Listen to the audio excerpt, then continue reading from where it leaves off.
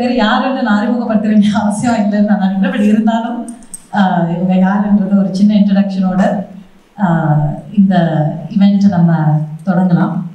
ரொம்ப முக்கியமான இன்னொரு விஷயம் என்னன்னா இந்த இவெண்ட் இங்கே நடக்கிறதுக்கு எல்லா ஏற்பாடுகளையும் செஞ்ச ஆதிசக்தி நிறுவனத்துக்கு நாங்கள் முதல்ல நன்றி தெரிவிச்சுக்கிறோம். அதே சமயம் கடல் ஃபெஸ்ட் நிக்கோல் அண்ட் ஜூடித் அவங்க ரெண்டு பேரோட இணைப்பில் நடக்கிற இந்த ப்ரோக்ராம் அவங்க ரெண்டு பேருக்கும் நன்றி. வந்திருக்க ரெண்டு பேருக்கும் டி எம் கிருஷ்ணா சாருக்கும் பெருமாள் முருகன் ஐயாவுக்கும் ரெண்டு பேருக்கும் நன்றி. முதல்ல பெருமாள் முருகன் ஐயா யாருன்றத ஒரு சின்ன இன்ட்ரடக்ஷன் ஐயா எழுத்தாளர் he's a thinker he's a writer he's a scholar அவரோட எழுத்துக்கள் எல்லாம் தமிழ் தமிழ் எழுத்தாளர். அதையும் தாண்டி ஆங்கிலத்தில் அவரோட எல்லா புத்தகங்களும் டிரான்ஸ்லேட் ஆகிருக்கு அது சில புத்தகங்கள் மாதவபாகன் பூனாச்சி போன்ற பல கதைகள் பல சிறுகதைகள் எழுதிய ஒரு எழுத்தாளர். அடுத்தது டிஎம் கிருஷ்ணா. அவர் ஒரு கர்நாடிக் சிங்கர் பாடகர் ரைட்டர் திங்கர் அவரும் பல புத்தகங்கள் எழுதியிருக்காங்க. அதில் ரொம்ப முக்கியமான புத்தகத்தை பற்றி தான் இன்றைக்கி டிஸ்கஷன் நடக்க போகுது செபாஸ்டியன் அண்ட் சன்ஸ் என்ற புத்தகத்தை பற்றின ஒரு உரையாடல். டி. எம். கிருஷ்ணாவும் பெருமாளுடன் ரெண்டு பேரோட உரையாடலுக்கு தான் நம்ம இன்னைக்கு எல்லாரும் ஒன்று so this conversation is going to be bilingual so is going to be in Tamil and in English so So uh, the conversation will start, and uh, at the end, uh, I'll open the session for questions for uh, for half an hour or so. So uh, so let's go. Let's start our conversation uh, of the evening. Welcome.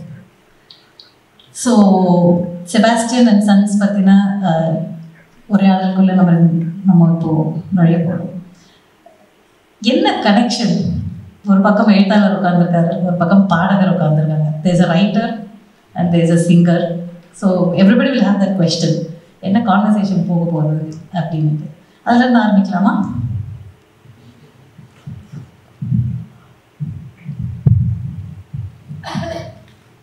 Krishna வந்து அவர் பாடகர் மட்டும் இல்லை அவர் பெரிய எழுத்தாளர் அவர். ஆமாம் இப்போ நான்லாம் வந்து எழுத்தாளர்னாலும் என்னை விடலாம் அதிகம் எழுத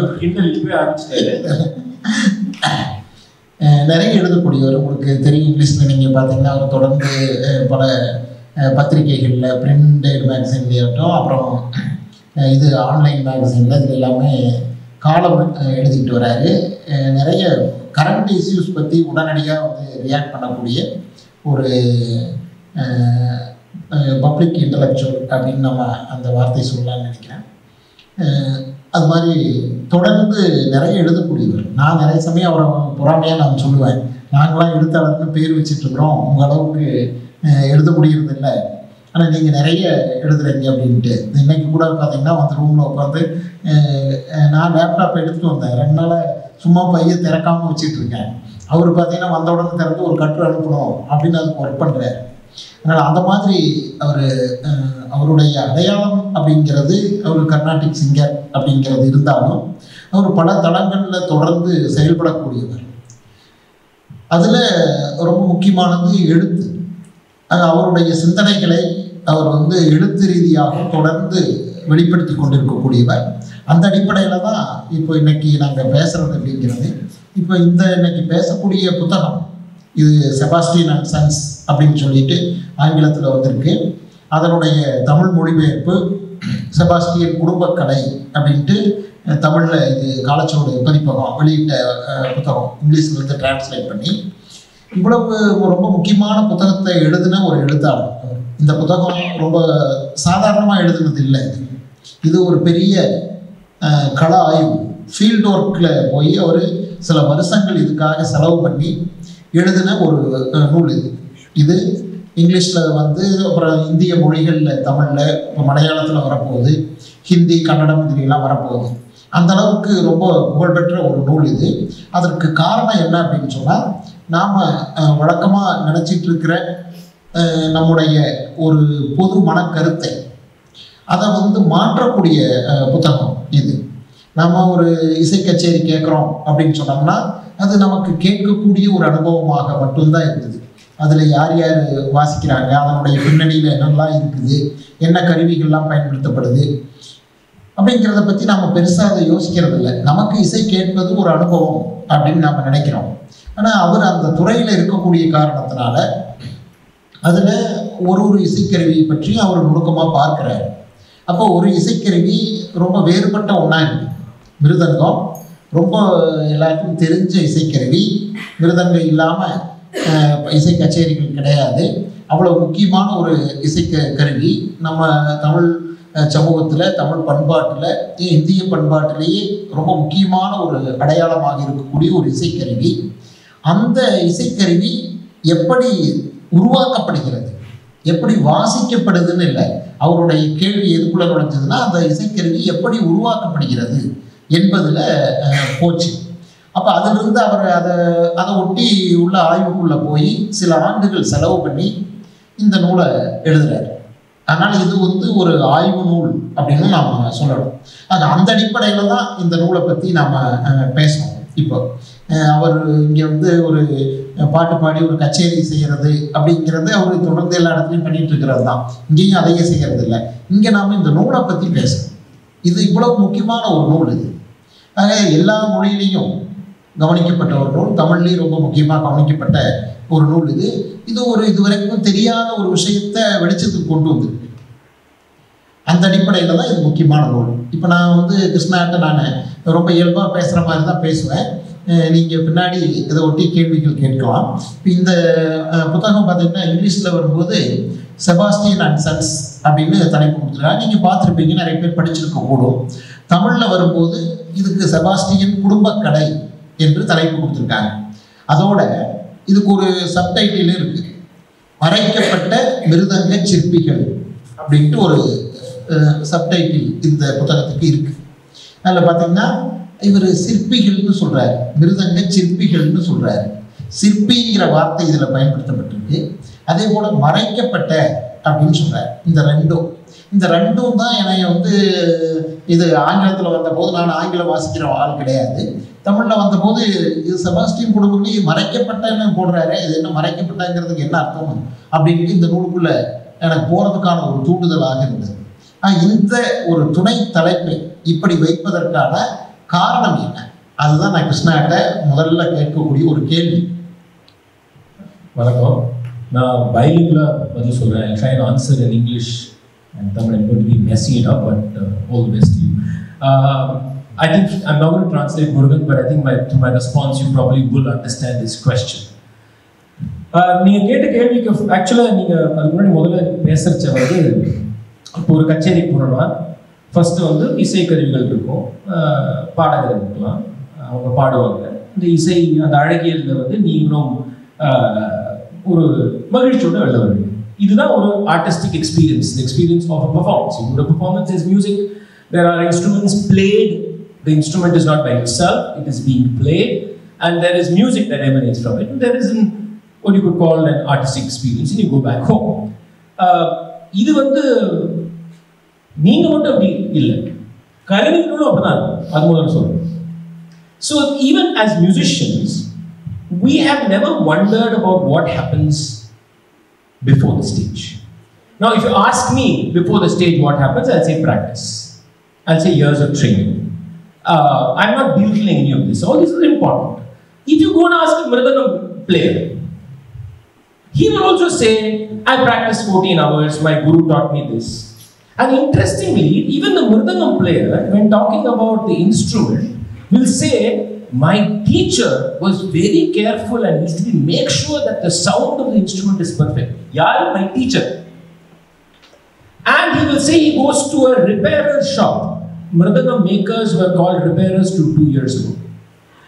They were called repairers. So the repairer, repairer will provide what the musician wants. So the musician is has acute sense of the instrument of how the music should be produced. He will call the repairer or go to the shop and say, "எனக்கு இது பண்ணு அது பண்ணு எனக்கு sound சரியில்லை அந்த தோல் சரி all this So, in this entire conversation that I've had, in my entire career as a student and a musician, the maker doesn't exist. It is like going taking my TVS uh, 50 to a mechanic's place. Nobody cares about how the TV is the TVS 50 made, falls from the sky maybe. Right? And here just some nuts and bolts are adjusted. அப்பப்போ தோல் மாத்தம் okay so நீங்கள் சொன்ன சிந்தனையோ அந்த மாதிரி ஒரு பார்வையோ உங்களுக்கு மட்டும் இல்லை எங்களுக்கும் அதே பார்வை தான் ஸோ இந்த புத்தகம் அங்கே ஆரம்பிக்கணும் ஏன் பார்வை ஏன் இங்கே அப்படி இருக்குன்றது தான் அங்கே தான் இந்த புத்தகம் ஆரம்பிக்கணும் பிகாஸ் நான் வந்து இவங்களை மிருதங்க செய்கிறவங்களை பற்றி சிற்பிகள் பற்றி கதைகள் இருக்கு. ஒரு பர்லாந்தன் ஒருத்தர் இருந்தார். இவர் கிரீட் மேக்கர் அப்படின்னு சில கதைகள் இருக்கு. அதுக்கு மேல ஒன்றும் கிடையாது. ஃபோக்லோர் சொல்லலாம் அது அவ்வளோதான் நான் அவங்களை பற்றி சிந்திக்கிறேன் இதுக்கு முன்னாடி ஒரு புத்தகம் இல்லை சதன் மியூசிக்னு ஒரு புத்தகம். அதில் வந்து ஒரு என்டையர் சாப்டர் வந்து கர்நாடக இசையில் இருக்கிற ஜாதி பிரச்சனைகள் பற்றி ஒரு சாப்டர் இருக்கு. அதில் வந்து மிருதங்க செய்கிறவங்களை பற்றி ஒரு வார்த்தை கிடையாது. அந்த சாப்டர்ல ஜாதி பத்தி நான் எழுதினாலும் பர்ஃபார்மன்ஸ் பத்தி தான் பேசியிருக்கேன் பாடவங்க பாடுறவங்க இசைக்கருவி வாசிக்கிறவங்க அதுக்குள்ள இருக்கிற தொடர்புகள் இருக்கிற பிரச்சனைகள். ஸோ என்னோட கண்ணோட்டத்திலையும் இவங்க இல்லை. ஸோ ஹிடன் சொல்றது வந்து அவங்க memorial they have no memory of them so what does a maker do அப்படின்னு ஒரு கொஸ்டின் கேட்டீங்கன்னா there is no there is no active memory within the performing community so the first thing that you do to destroy a human being is destroy the mind of the human being if the mind doesn't exist the human being doesn't exist then the human being is a tool the body is just a tool இப்போ மிருதங்க சேர்ந்து பேசுகிற வார் ரொம்ப நல்லா பிடிப்பாங்க அப்படின்னு சொல்லுவாங்க வார் பிடிக்கிறது ரொம்ப உடல் சார்ந்த விஷயம் இந்த மிருதகத்தில் பார்த்தீங்கன்னா there are two sides there is uh, skin and it has to be tied and it's வாரை பிடிச்சு இழுக்கணும் அவங்க ஆறு ரவுண்ட் அஞ்சு ரவுண்ட் இழுப்பாங்க this war is the most important thing So the entire thing was to collapse the making into a physical activity and not an activity of the mind. Activity of creativity, of inventiveness, of innovating new ways of creating sound, of changing the sound of the last hundred years. இன்னைக்கு மிருதகம் sound இருக்குன்றதுன்னா இது only because of the maker of the last hundred years. அது அவங்களே சொன்னது right so இந்த மறைக்கப்பட்ட ஹிடன்றது hidden from not just side but hidden from any register of activity of the mind. That is why they are hidden. So even if they are present, I don't see them. Even if the Mridangam maker comes to the stage with the Mridangam player, it happens, Mridangam plays in the control I don't notice that human being. The Mridangam sometimes goes from the stage to the maker on the side who's making adjustments. But so what? He's a mechanic. So அதுதான் hidden என்ன சொல்ல விரும்புறீங்களா ரெண்டாவது வந்து சிற்பிகள். This is a very interesting word is making an art அப்படி ஒரு question இசைக்கருவி செய்யறது வந்து ஒரு கலையா? கலைனா என்ன? அப்படின்னு ஒரு லார்ஜர் கொஸ்டினுக்கும் போகலாம் கலை அப்படின்றது என்னன்றது ஒரு லார்ஜர் பிலிசாபிக்கல் கொஸ்டின் அதுக்குள்ள நான் இப்போ போகல but is making an art அப்படின்னு ஒரு கொஸ்டின் இருக்கு if you see how we have perceived the making of the Mridangam, perceived it as being bringing some different parts together. என்ன பார்ட்டு ஆட்டுத்தோல் பசுத்தோல் எரும மாட்டுத்தோல் ஜாக்ஃபுட் wood. இது நாலும் சேர்ந்து பண்ணுறது முடியுது இந்த புத்தகம் எழுதின அப்புறம் ஒரு விமர்சனம் ஒன்று வந்தது which I found very interesting அந்த விமர்சனம் என்ன வந்ததுன்னா டிஎம் கிருஷ்ணா வந்து சரி வருது இந்த புத்தகம்லாம் முக்கியமான புத்தகம் எழுதியிருக்காரு சரி ஆனால் மிருதங்க செய்கிறது வந்து ஒரு பெரிய கலை மாதிரி எழுதியிருக்காரு. அது என்ன பெரிய கலை இருக்கு அதை நம்ம வயலின் செய்கிற மாதிரியா is it like making a violin is it Stradivarius this is just about trial and error These guys kept trying three different kinds of skins for about 20 years, they figured it out.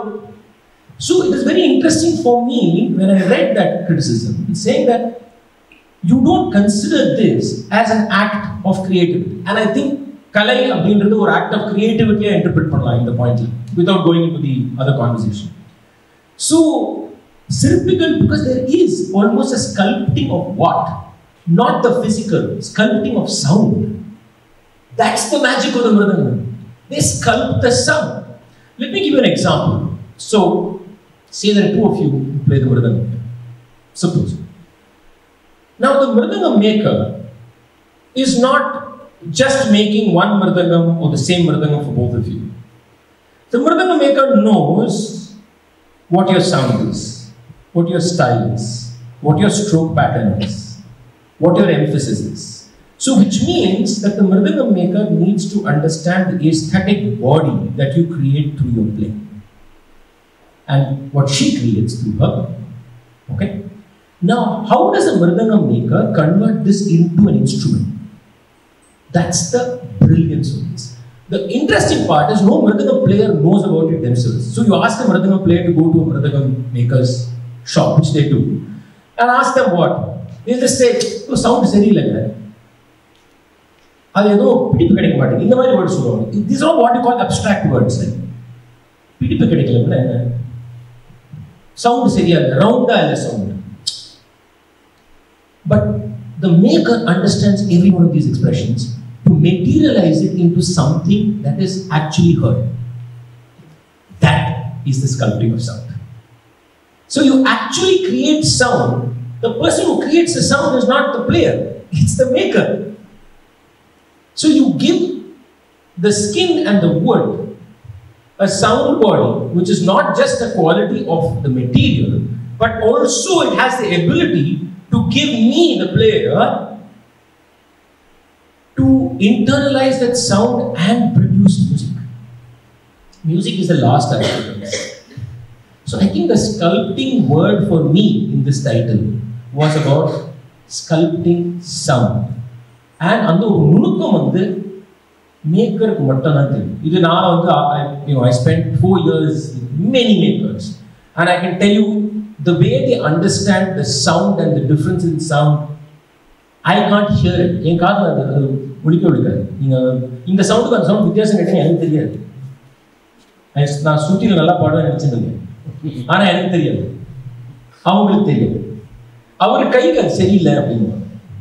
They note so I think அதுதான் சிற்பிகள்ன்ற my interpretation but I நான் உங்களுக்கு ஒரு கேள்வி கேட்பேன்.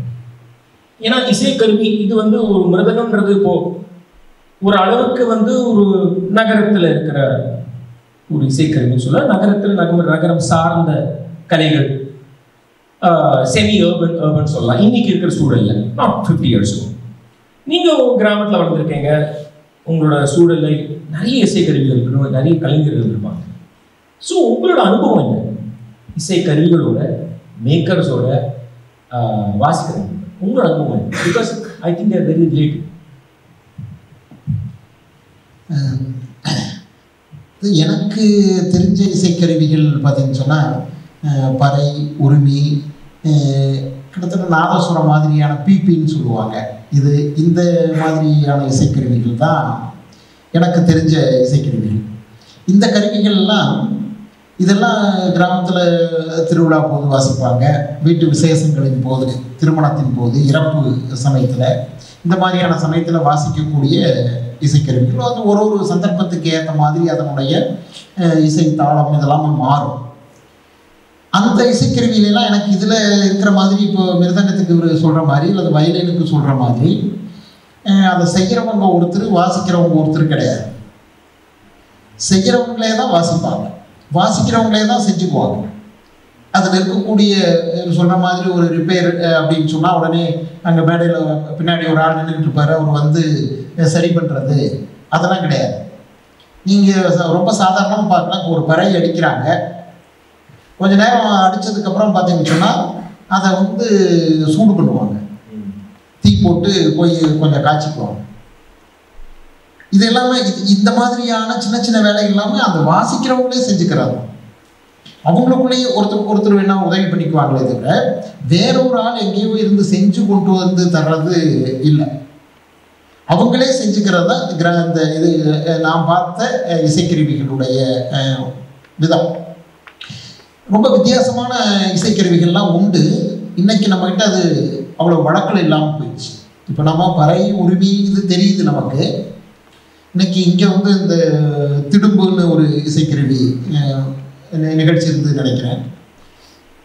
அந்த திடும்பு கொட்டுறது எங்கள் ஊரில் வந்து திடும்பு கொட்டுறது அப்படின்னு சொல்லுவாங்க. அது நீங்கள் பார்த்தீங்கன்னா ஏதாவது ஒரு அறிவிப்பை சொல்லும்போது அதை கொட்டிட்டு வந்து தான் சொல்லுவாங்க. அது அந்த மாதிரி சில சந்தர்ப்பங்களில் மட்டும் அந்த இசைக்கருவியை பயன்படுத்துவாங்க. இப்போ கிண்ணறம்னு ஒரு இசைக்கருவி இப்போ இது கிண்ணறங்கிறது எனக்கே அது ஒரு இசைக்கருவின்னு முதல்ல தெரியாது. எங்க ஊர்ல ஒரு பழமொழி சொல்லுவாங்க கிளவி பேச்சு கிண்ணறம் ஏறுமா? அப்படிப்பாங்க அப்போ கிண்ணறம்ங்கிறது என்ன இது அர்த்தம்னு கூட எனக்கு அதில் தெரியாது. இப்போ கிண்ணறம் அப்படின்னு சொல்றது அப்புறம் பார்த்திங்கன்னா அது ஒரு நரம்பிசைக்கருவி அது எனக்கு அது ஒரு இசைக்கருவிங்கிற ஒரு விஷயம் வந்து எப்போ தெரிஞ்சதுன்னா எங்கள் ஊருக்கு எங்கள் வீட்டுக்கு ஒரு முறை ஒரு பிச்சை எடுக்கிறதுக்கு ஒரு ஆள் வந்தார். அவர் கையில் வச்சுக்கிட்டு ஒரு புதுசான ஒரு இசைக்கருவி நான் பார்த்தது கிடையாது. அதை வாசிச்சுட்டு வந்தார்.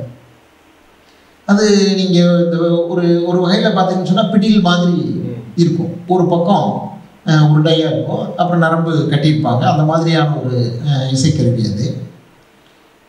அது அப்போ கூட அந்த மாதிரி அந்த ஒரு இசைக்கறி வித்தியாசமானது அப்படிங்கிற எண்ணம்லாம் இல்லை. அவர் எங்கள் வீட்டுக்கு வந்து எங்கள் வீட்டில் எங்கள் அம்மா ஒரு சுரக்க சுரக்கொடி விதை ஊனி சுரக்கொடி வந்து எங்கள் ஓலை வீடு. ஓலை வீடு மேலே முழுக்க சுரக்கொடி படர்ந்து இருந்தது. நிறைய காய்கள் இருந்தது. அதை பார்த்துட்டு அவர் வந்து அதில் காஞ்சிருக்கக்கூடிய க- விதைக்கி விட்டிருந்த ஒரு ரெண்டு காயை பார்த்துட்டு அது எனக்கு கொஞ்சம் கொடுங்க அப்படின்னு கேட்டார். அது எதுக்கு அப்படின்னு சொன்னால் அவர் என்னென்னா இந்த இந்த கருவி செய்கிறதுக்கு அது வேணும் அப்படின்னாரு. அந்த சுரக்காய் வந்து நீங்கள் எத்தனை பேர் பார்த்துருக்கீங்க எனக்கு தெரியாது. அந்த சுரக்காய்க்கு பேரே கிண்ணற சுரக்காய் சுரையில் வந்து இப்போ ரெண்டு வகையான சுரைக்காயை நீங்கள் கடைகளில் பார்க்கலாம். பாம்பு சுரக்கான்னு சொல்லுவாங்க அப்படி நீளமாக இருக்கும். அது. இன்னொன்று கழுத்து சுரக்கான்னு சொல்லுவாங்க. கழுத்து இருக்கும் ஒரு குடுவை மாதிரி இருக்கும் Do you want a translation by any chance? Anybody? Okay, I'm going to try. He said a lot, but I'm just going to give you just what he said. He said that uh, uh, the question I asked him was, what are the kind of instruments and artists that you grew up with or grew up around, and what was your experience? So he spoke about uh, a few instruments uh, like the parai, urmi, and he specifically spoke about the kinnar. Before that, he made a statement for, to which I will respond later. He said that as far as he knew in his village, anybody who played the instrument made the instrument. There was no maker and player. The maker and the player were the same.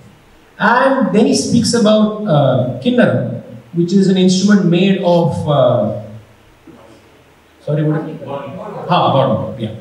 Um, and a specific kind of wood, which is called kingarasoraka which is name of the instrument. And uh, he spoke about how a person who played the kirtan came to his house and specifically asked for a dried one because he makes it. So, just to give an uh, description, the resonating chamber of that is from the soraka. Okay, and if you know, there's something called the Miraj Tanpura. The Miraj Tanpura also has actually a pumpkin, which is the resonating chamber. So there is a tradition of using either wood or uh, kind of uh, wood. அந்த அந்த கிண்ணற சுரக்காய் எப்படி இருக்கும்னு பார்த்தீங்கன்னா ஒரு சின்ன அந்த பூசணிக்காய் இருக்கு பாருங்க அது மாதிரி இருக்கும். ஒரு வட்ட வடிவில் இருக்கும். அந்த அது அந்த சுரக்காய்க்கு பேரே கிண்ணற சுரக்காய். அது ரொம்ப நல்ல சமையலுக்கு ரொம்ப ருசியாக இருக்கும். அது. அதனால் எங்கள் அம்மா தொடர்ந்து அது விதை வச்சுட்டே இருப்பாங்க அது. இப்போ இது காஞ்சி மேலே இருக்கிறத அவர் பார்த்துட்டாரு. பார்த்துட்டு கேட்டார் அது வேணும் அப்படின்ட்டு.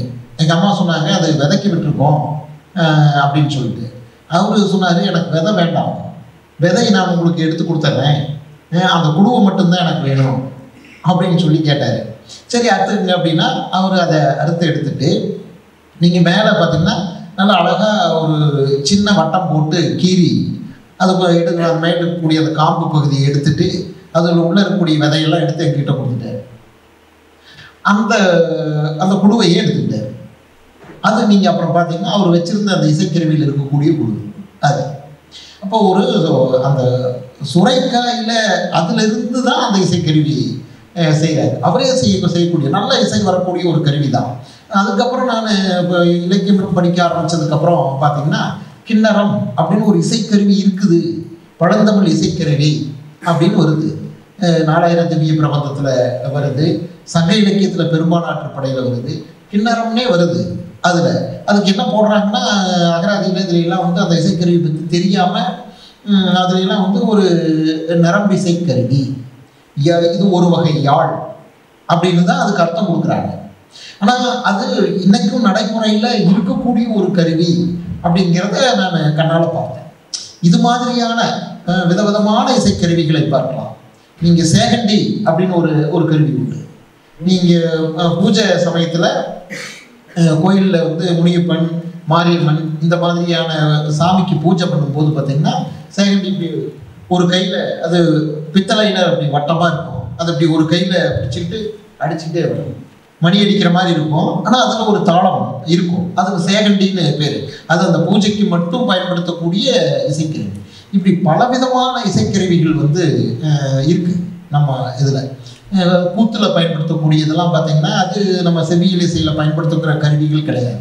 நிறைய கருவிகள். முகவீணைன்னு ஒன்று இருக்குது அதெல்லாம் பார்த்தீங்கன்னா அந்த நாட்டார் கலைகளில் மட்டும் பயன்படுத்தக்கூடியது தான் இப்படி பல இசைக்கருவிகள் இருக்குது இந்த இசைக்கருவிகள் எல்லாத்துலேயும் நான் பார்த்த வகையில் என்னன்னா அதை யார் வாசிக்கிறாங்களோ பயன்படுத்துகிறாங்களோ அவங்களே தான் அதை செஞ்சுக்குவாங்க. அப்படித்தான். வேற வந்து இது இந்த பிபின்னு சொல்லக்கூடியதை கூட அவங்களே தான் செஞ்சுக்குவாங்க. ஒரு சின்ன இது வேணா அதுக்கு வந்து ஆசாரியை கொஞ்சம் பயன்படுத்துவாங்க. அவ்வளவுதான். மற்றபடி அவங்களே செஞ்சுக்கக்கூடியது தான் ஆனால் இப்போ செவியல் இசையில் வரும்போது ரெண்டும் வேற வேறையாக இருக்குதுங்கிறது எனக்கு அது ரொம்ப நம்ம கவனம் பெறாத ஒரு விஷயம். அது. இவர் சொன்னார் இப்போ இது மிருதங்கம் செய்கிறதுல மட்டும் என்ன ஸ்பெஷல் இருக்குது வயலினும் இன்னொருத்தர் செஞ்சு செய்கிறாங்க வேற ஒவ்வொரு இசைக்கருவியுமே இன்னொருத்தர் செய்கிறாங்க வாசிக்கிறாங்க அப்படின்ட்டு. பொதுவாக இசைக்கருவிகளில் தமிழில் வந்து மூன்று வகையான இசைக்கருவி சொல்லுவாங்க. தோல் கருவி தோலை பயன்படுத்தி செய்யக்கூடிய கருவி. இன்னொன்று நரம்பு கருவிகள் நரம்புகளை பயன்படுத்தி செய்யக்கூடிய கருவி. இன்னொன்று துளைக்கருவி புல்லாங்குழல் மாதிரியான துளைக்கருவி ஓட்டை போட்டு அதை வாசிக்கக்கூடிய கருவி. மூணு இது பண்ணுவாங்க. இப்போ இந்த புத்தகம் படித்ததுக்கப்புறம் எனக்கு என்ன தோணுச்சுன்னா இப்போ இந்த நரம்பு கருவி துளைக்கருவிகள் பண்ணுறதுக்கும் இந்த தோல் வச்சு பண்ணுறதுக்குமான அந்த கருவிகள் பண்ணுறதுக்குமான வித்தியாசம் என்னங்கிறது அதை நான் யோசிக்க ஆரம்பித்தேன் நீங்கள் வந்து இந்த தோல் கருவி மிருதங்கம் இல்லை இரண்டு மூன்று தோல் பயன்படுத்துகிறாங்க அப்போ நீங்கள் இந்த வித்தியாசத்தை எப்படி உணர்ந்தீங்க அதை பற்றி இது சொல்லுங்கள் I'll try and summarize the last part of what he said. He spoke about many kinds of instruments that he has uh, heard, seen, um, which were part of temple rituals, um, which were part of social events, etc. And uh, if you see how instruments are divided, they are taken as either skin instruments or uh, string instruments, but the word he uses is naramba, which is actually far more accurate because at one time, string instruments they were not using metal. Many times they were using gut. So the violin, for example, strings were made of gut. So just to tell you, it was non-vegetarian too. Um, and the third is, of course, aerophones, flutes, nagaswarams, etc. Um, the two things I want to respond to. One is, you know, this whole idea that's very important what he said is how the maker and the player is the same.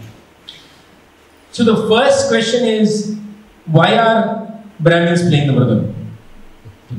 Obvious question, right? So we'll come to that question. But if you look at this, if you look at social hierarchy, as you move upward, is when the separation between the maker and the player begins.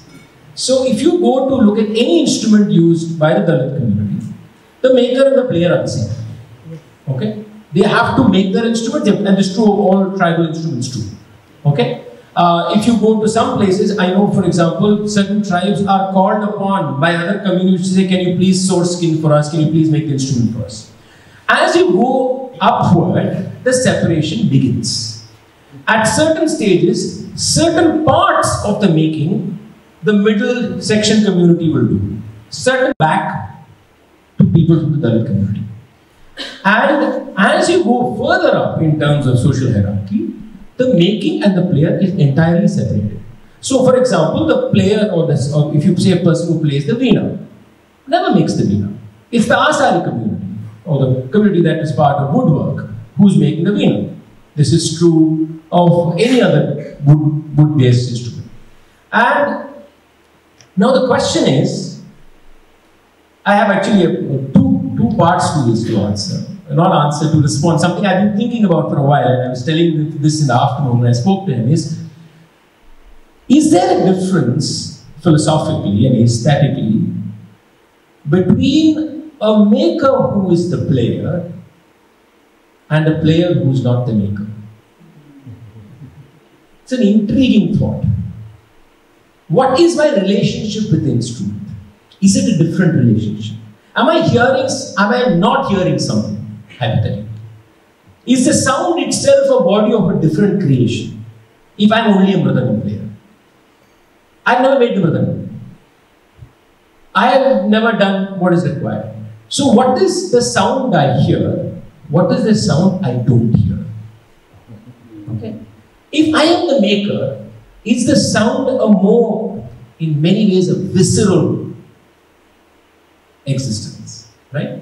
This, I think, is, a, is an interesting thing to ruminate about. I don't think we have answers to this, but I think it's, a, it's an important thing to think about and what happens to the way a mridangam player hears the sound compares to mridangam maker who's a player hears the sound. I think it's, a, it's an important question. And I can ask the same question between a parai artist who plays the parai and a Brahmin who plays a mridangam. Is there a difference in the body, in what is felt here? Right? Uh, now he asked me, the question he asked me was also about, is there a difference between a the makers, I mean, between the skin instrument versus the wood or the string instrument? Of course, there is. That's one of the reasons why this book, people have asked me, why do you write about the Veena maker? Why did you write about the flute maker? I mean, not that you shouldn't, of course. And the simple answer is skin.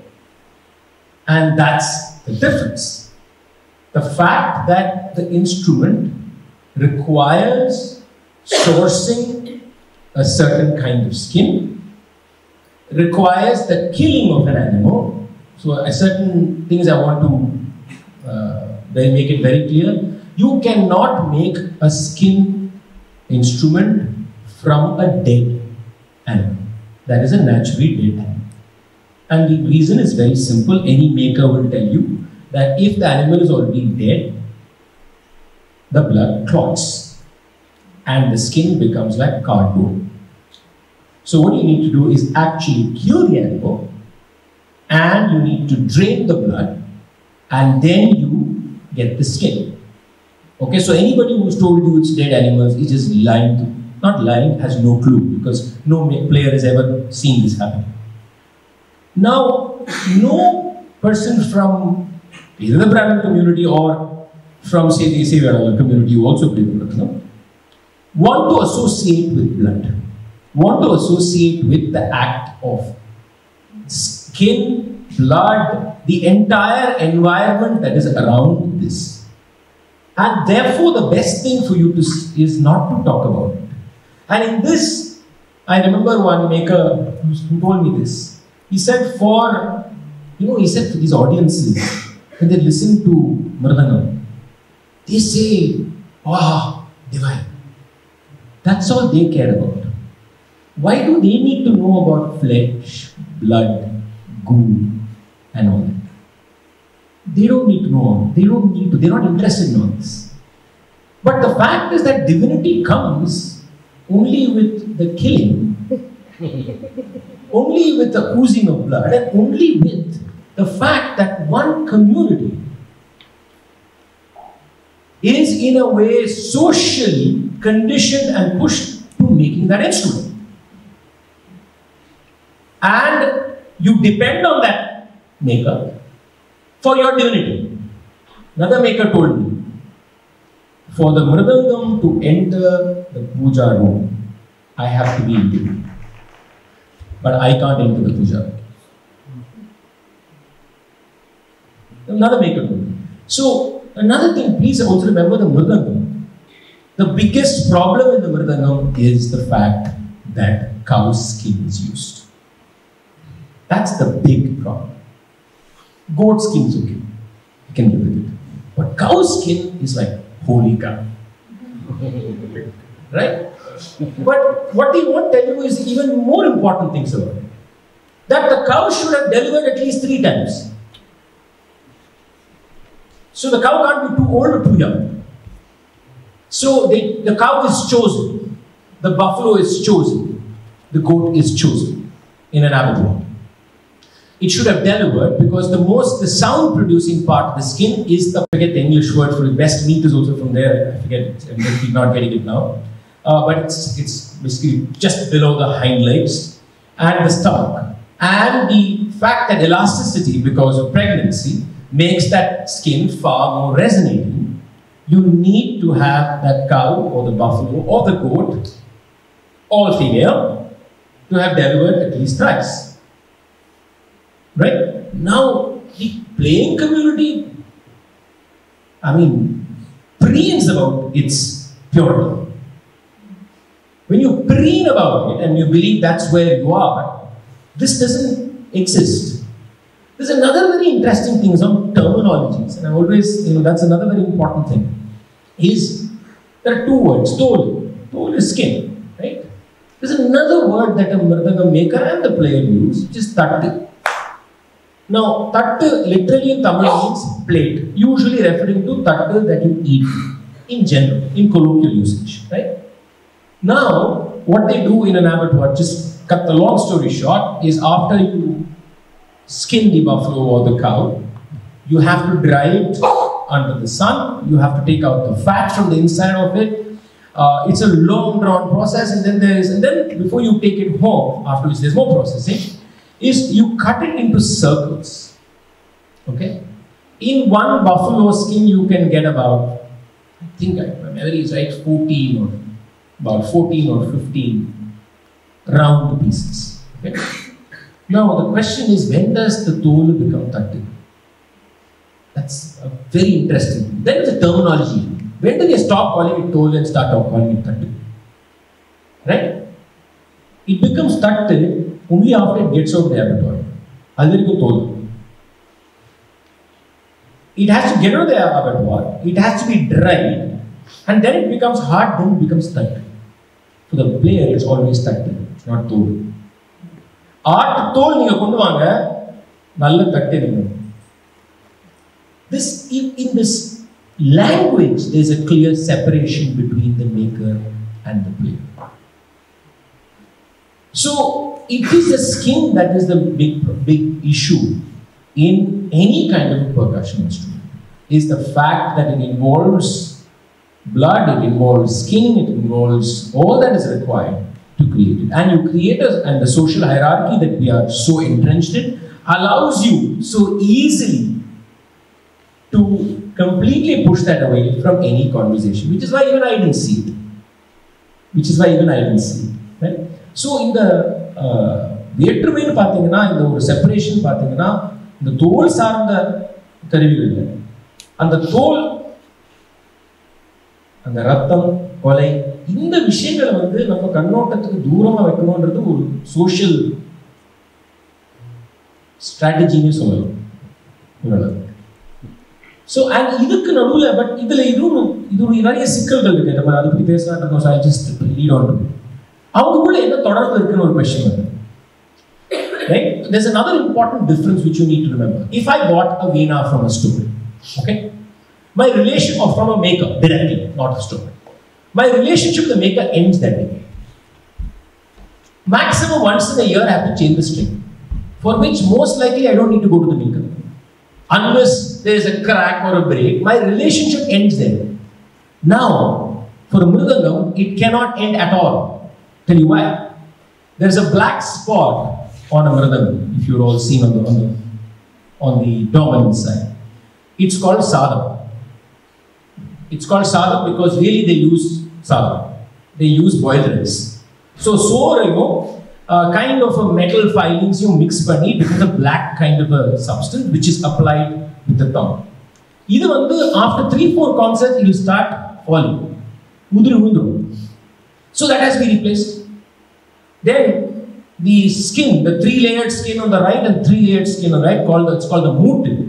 மூட்டு will also ஒரு ஆறு மாசத்துலயோ depending style உங்க style playing எப்படி இருக்கோ you will have to change the mood which means you need new skin so the maker and the player are in contact with each other almost every second day this is where it gets very complicated so ஒரு தொடர்பு இருக்கு for me this book was also important to look at that what is this relationship this relationship between a maker who comes from a marginalized community and a player who comes from the topmost seated position in social hierarchy, in cultural hierarchy. But they have to meet each other. They have to talk to each other. They must have some common language. But yet, everybody knows where the lines are drawn.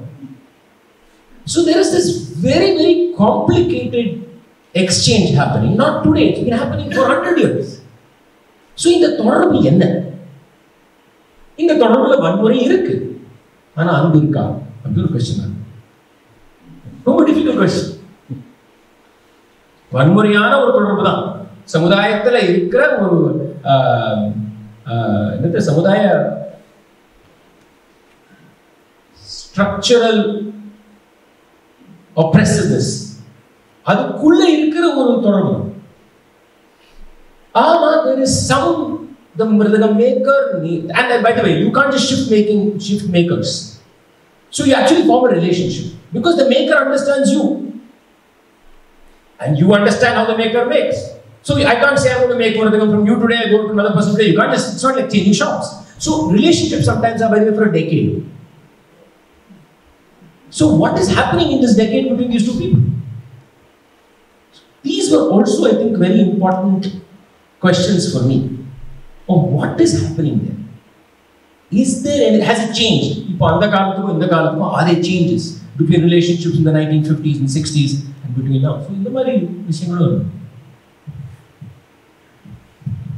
நீங்கள் இப்போ பேசும்போது கொஞ்சம் தொட்டீங்க இப்போ ஒரு இசைக்கருவியை அஹ், வாசிக்கிறவங்களே செஞ்சுக்கிறதுக்கும் இல்லை வேற யாரோ செஞ்சு கொடுத்து வாசிக்கிறதுக்கும் இதுக்கு அந்த இசைக்கருவிக்கும் அவங்களுக்குமான அந்த நெருக்கம். ஒரு இட- ஒரு இடைவேளை இருக்கு இதுல. அஹ், இடைவெளி இருக்கு. ஒரு இடைவெளி இருக்கு. நான் இந்த புத்தகத்துல ஒரு ஒரு மார்க்ல மிருதங்கத்துக்கு மட்டும்தான் அப்படி இருக்குதா? வயலின் அந்த மாதிரியான எல்லாத்துலயும் இருக்கு. எல்லாத்துலயும் இருக்கு. இந்த இடைவேளையில ஒரு விஷயம் இருக்கு. பட் ஒரே ஒரு விஷயம் நான் மிருதங்கம் மாதிரி கருவிகளுக்கு ஒரு மேக் டிஃப்ரெண்ட் பாயிண்ட் பிகாஸ் அந்த கருவிக்கும் அந்த ஒரு இசை வாசிக்கிறவங்களுக்கும் அந்த தோல் சார்ந்த ஒரு கனெக்ஷன் இருக்கு இப்போ ஒரு வீணை வாசிக்கிறதுல நீங்க ஸ்ட்ரிங்ஸை தூக்கி போடுவோம் இன்னும் ஸ்ட்ரிங்ஸ் போடுவோம் ஸோ ஆக்சுவலி அந்த இன்ஸ்ட்ருமெண்ட்டுக்கும் அந்த பர்சனுக்கும் அதே மாதிரி இல்லை. தொடர்பு இல்லைன்னு நான் சொல்லலை. பட் இது தோல் இப்போ நம்ம தமிழ்ல மிருத வாசிக்கலாம் கை அந்த தோல் தோல் பற்று எப்படிமா அப்படின்னா என்னன்னு யாருக்கும் தெரியாது ம். சில பேருக்கு இருக்குங்க தோல் பற்று ம். Uh, they're talking about this connection between the player's hand and the skin. It's fascinating that they're actually talking about that. Okay? When they're saying it, they don't even realize what they are saying. Okay? But they're talking about this innate relationship between the hand of the player and that tone. But there is, in my, my argument, is actually there's no relationship. Hmm. Available. There's only relationship between the hand of the player and the hand of the maker. The maker has a relationship with the skin. So if there was no maker in between whose hand did not understand my hand, there is no connection with the skin. So there is this gap, which is, I think, very interesting to think about. Unfortunately, you don't have as many makers who become players, or probably none, for very obvious social hierarchical reasons. Not that they haven't tried, they've tried learning, but the discrimination happens in the not obvious way of saying, even if the poor, this is enough for him. He's anyway not going to become a player. So you only teach that person so much. whereas you teach me everything you have because you presume I'm a genius. Right? So இதுவும் I மீன் இதை நான் கேள்விக்குரியன சொல்றேன். இடைவேளை இருக்காங்கிறது ஒரு question இடைவேளை இருந்தா அதனால ஏதாவது மாற்றங்கள் இருக்கா அப்படின்றது ஒரு ரெண்டாவது கேள்வி. But something to think about அவ்வளோ அப்புறம் இதில் இன்னொரு முக்கியமான ஒரு விஷயம் நான் உங்ககிட்ட கேட்கணும்னு எனக்கு தோணுச்சு. இதில் இந்த மிருதங்கம் மேக்கர்ஸ் இருக்காங்க பாருங்க. அதில் வந்து ரொம்ப குறைச்சலான பேர் தான் பெண்கள் இருக்காங்க. அதுவும் ஒருத்தர் ரெண்டு பேர் தான் வராங்க. அதில் நீங்கள் ஒரு ஃபீல்ட் ஒர்க் பண்ணி கலெக்ட் பண்ணினதில் பார்த்தீங்கன்னா அவ்வளோதான் இருக்காங்க. இப்போ அது வந்து பெண்கள் அந்த மிருதங்கத்தை உருவாக்குறது அதை செய்யறது கஷ்டம் அப்படிங்கிற அடிப்படையில் குறைச்சலாக இருக்காங்களா? இல்லை வேற என்ன ரீசன் அதே போல் இப்போ நீங்கள் கச்சேரிகள்லேயும் இப்போ வயலின் வந்து ஆணும் வாசிக்கிறாங்க பெண்ணும் வாசிக்கிறாங்க அதே சமயம் ஒரு அஹ், மிருதங்கத்தையோ கடமோ அது பெண்கள் வாசிக்கிறது இல்லை ரொம்ப ஆமாம் அப்போ அந்த அது அந்த வித்தியாசம் என்ன அடிப்படையில் இருக்கு pretty obvious. Uh, his question, just to translate, he said that he asked me that he noticed that in the book there are very few women mridanga makers. Uh, I only mentioned in this book, and both actually work with skin. Um, and similarly, in percussion instruments, there are very few women playing percussion instrument, and this is not just true of any one tradition; it's a world over phenomenon, right? And so he said, "What are the reasons?" So I'll, I'll tackle the first part. So if you ask any Mridanga maker, they first they kept telling me, uh, இது பண்றது ரொம்ப கஷ்டங்க லேடிஸ்னால பண்ண முடியாது every மிருதங்க maker two லேடிஸ்னால பண்ண முடியாது பலம் வேணுங்க நிறைய strength lot of strength women don't have the strength வாரெலாம் பிடிக்கிறதுன்னு அவ்வளோ லேசான விஷயம் இதெல்லாம் சொல்லுவாங்க Uh, by the way, not that all the maker is some big bodybuilder or anything, just to put it on the on record. And but they told me, ஆனா ஒரு விஷயம் அவங்க help பண்ணுவாங்க சரி சரி என்ன விஷயம் ஸோ இந்த this mixture I told you that is metallic part which is used with soda comes from a stone in the Tanjavur area they call it Kittangal. now this Kittangal is some kind of a volcanic rock. In the book, in fact, what we did is we actually did a chemical analysis and a material analysis of those stones. Uh, between the stone in Tanjavur, between the stone in Palakkad, between the stone in, in Vizag, because each of them, of course, like any field, by the way, each of them believe they are the best. And there's huge competition between the Tanjavur school of making, between the Palghat school of making. So I was curious to see which stone, was there really any difference in terms of what there is in the stone? All the stones are heavy on iron, different kind of ferrous, basically. So, they told me, ladies இதில் தான் help பண்ணுவாங்க எதில் help பண்ணுவாங்க அந்த கல்லு உடைக்கிறது no if any of you try breaking that stone it's nearly impossible task it requires a lot of strength so I asked this maker you said you say I have no strength I mean damn they still sit and break the stone what are you talking about He said, ஆமா ரொம்ப கஷ்டம் but அவங்க பண்ண மாட்டாங்கல்ல இல்லைங்க அதெல்லாம் தோல் இருக்குங்களே so there two the reason women are not allowed to make it in some way, in their heads at least, is that it requires going to the abattoir. It requires interacting in that kind of an environment. It requires hard skin work. But there were two women who did this work, and there's an anecdote that I always repeat before I tell the story because it's in the book too. I was in Palakkad and I went to meet the makers. I went to uh, his house. We had a one hour conversation. And as I was leaving, he introduced me to Gita. And he said, This is Gita. And in front of a house, which was her neighboring house, there were six four skins of buffaloes dry. I saw it. I said hello to Geeta and I left. I came back to my hotel in Palakkad and I was calling Sangeetha, who's my wife. She said, So, what happened? Tell me what happened. So, I described to her the entire interview. And I, then I said, You know, I met this woman called Geeta. And I told her this. And she said, You interviewed her, right? I hadn't. I had walked in your home too. Even I did not recognize her as a maker at that moment. So I went, I darted back, of course, within 20 minutes. I called and said, Geeta, can I talk to you now? And we did this interview. Geeta is the only woman who processes skin for both Mridangam and Maddalam in Kerala. Okay? She works with one person, the abattoir, I forget his name, who gives her the supplies the skin, and she does all the skinning work, every part. Similarly, there's one lady called Madhava. She's from Rasipur actually. And she was the single supplier of goat skin. So Ambur is very famous for goat skin, very famous for biryani also.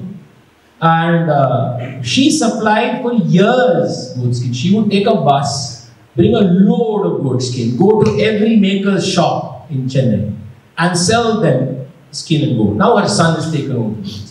These are the only two women in this entirely male dominated Mridangam making. And both these women were skin procurers and worked with skin.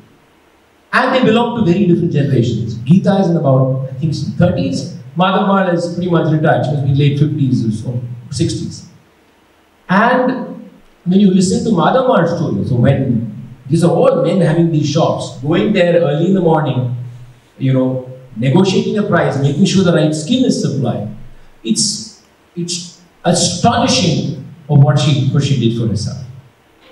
Similarly, Geeta. I mean, Geeta was was incredible. And when then when you when I spoke to her, I mean, how she got into this business is she had, she lived in Coimbatore and she spoke about how her father was falling ill. And I'm recollecting now. I could be not exactly on, on, on target in terms of what I'm saying, but I remember that he was unwell and he was waiting for his son to come back to do some skin work. And she said, Can't I do it?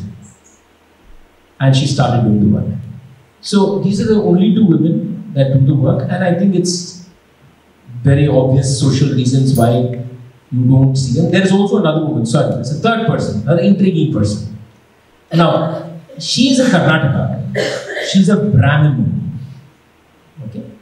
Her husband uh, came from a village where they did a, a kind of a kuttu, that's a different story altogether. And they come to Bangalore and he sets up shop. He starts learning to play, make the mridangam and tabla. They still have a store called the Shanti Tabla store. And he dies and she becomes the master maker. Okay? And of course, what happens is their family completely disowns them because they are working with skin. They'll have nothing to do with them. And but she would never go to the abattoir. Or he would never go. Cleaned a cured skin would be supplied. So there's a, even there, there was that clear, very clear separation on what the Brahmin family will do. So it was already, already quasi cut, to put it simply, by the time the skin came. So this is, these are the only three women that I encountered. Uh, and I don't think in the past they have been anymore. Women playing a uh, percussion instrument is a similar problem. It's a problem that starts even how you perceive a woman should be seated. I've, I've heard people tell me, so I don't know of you know how a mridangam plays. I'll try and show you now.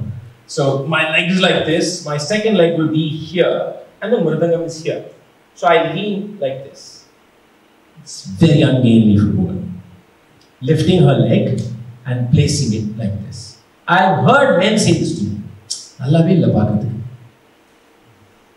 or a woman playing the ghatam. He forget about her playing quality. That even comes later. The sight of a ghatam.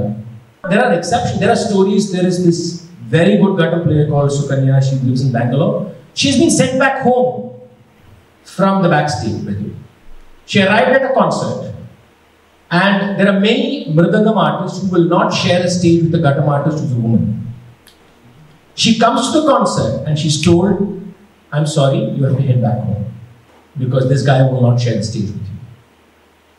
Right? So there's a lot of things. And one, one another story which happened at my concert, I'll never forget is there was this girl who accompanied me and um, she short hair and uh, I think she was wearing a, kurta and pajama that day.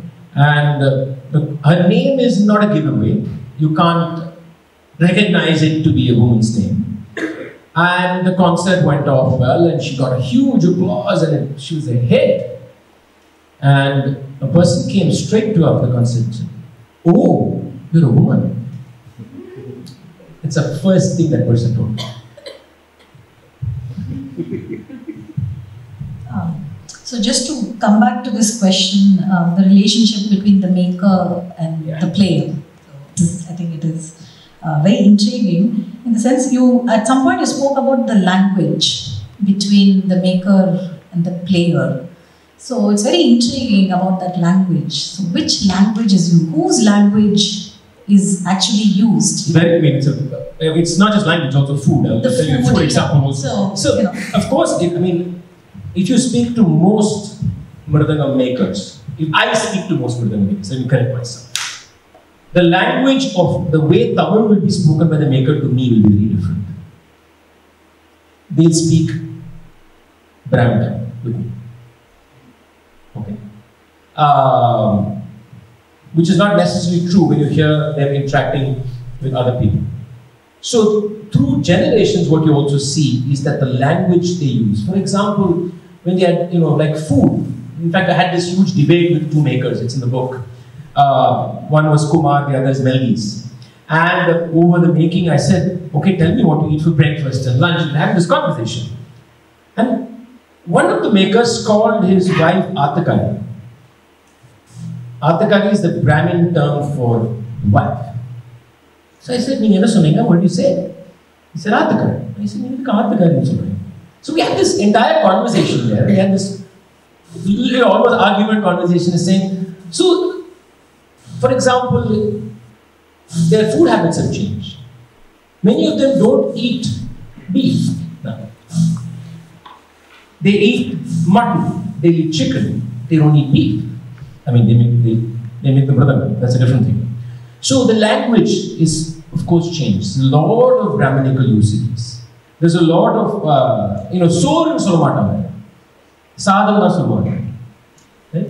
Many, many things have changed, and that obviously is because of social hierarchy. See, another thing we should remember in, in this is their entire world of profession is in this culture. So there is this huge contradiction that has existence right there. It's not like there is another world to which you have access. Right? So your entire professional cultural world is the world of Carnatic music. Okay? Your professional existence depends on that world. Right? And it's not one generation, over six generations of this. So there is, in within this oppressive environment, there is a conditionality that has happened through generations, in which the language has changed, in which the food has changed, not the other way around, of course. Right? So it's a, it's a very messy space because also He'll love making the Varadagu. Now, how do you factor that in now? Right? That makes it even complicated. It's not like the maker will tell you, I don't want to do this anymore in my life. I'm going to do something else. Because he's saying, Pathingla, the sound won't bring a Pathingla.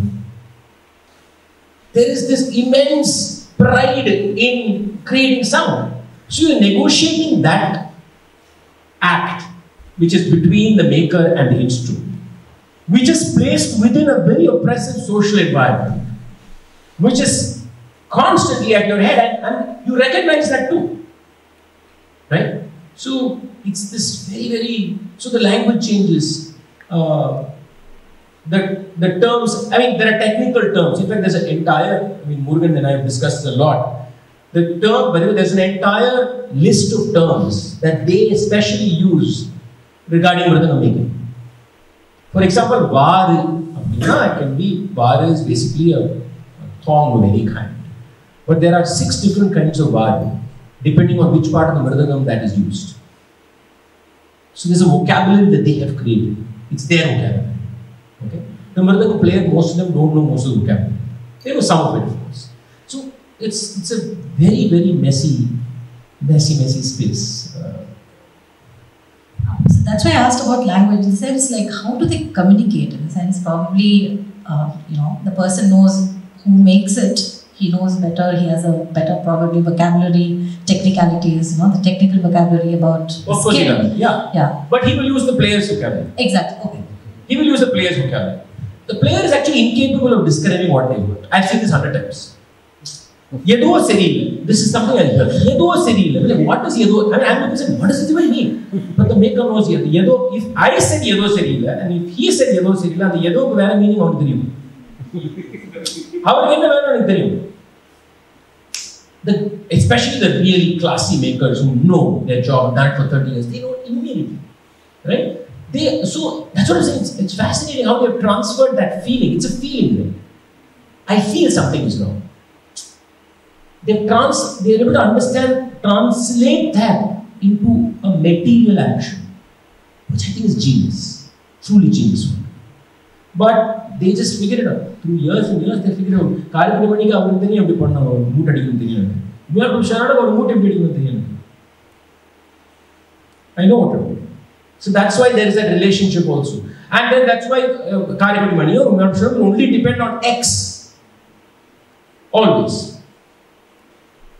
But that dependency is actually That's yeah, invisibilized. it's exactly that depend. So, it's an yeah. invisible dependency. It is a, in a way, a violent depend- dependency too, right? So it's it's a very very very difficult space for them to be placed in. Yeah. ம். இந்த புத்தகம் வந்ததுக்கப்புறம் அவங்க இசை உலகத்தில் அப்புறம் இந்த மிருதங்கம் makers கிட்ட அவங்க கிட்ட இதுக்கான ஒரு எதிர்வினை ஒரு ரியாக்ஷன் என்ன மாதிரி அஹ், இருந்துச்சு நீங்கள் எதிர்பார்த்த மாதிரி இருந்துச்சா Uh, then I like it.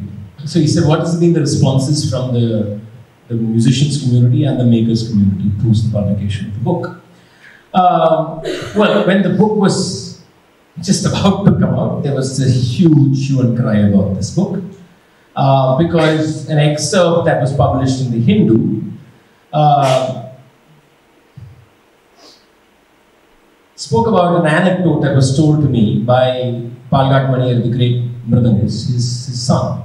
And I'll tell you the anecdote because it's, I think, an interesting anecdote. And I thought, I, I thought it was a very interesting story.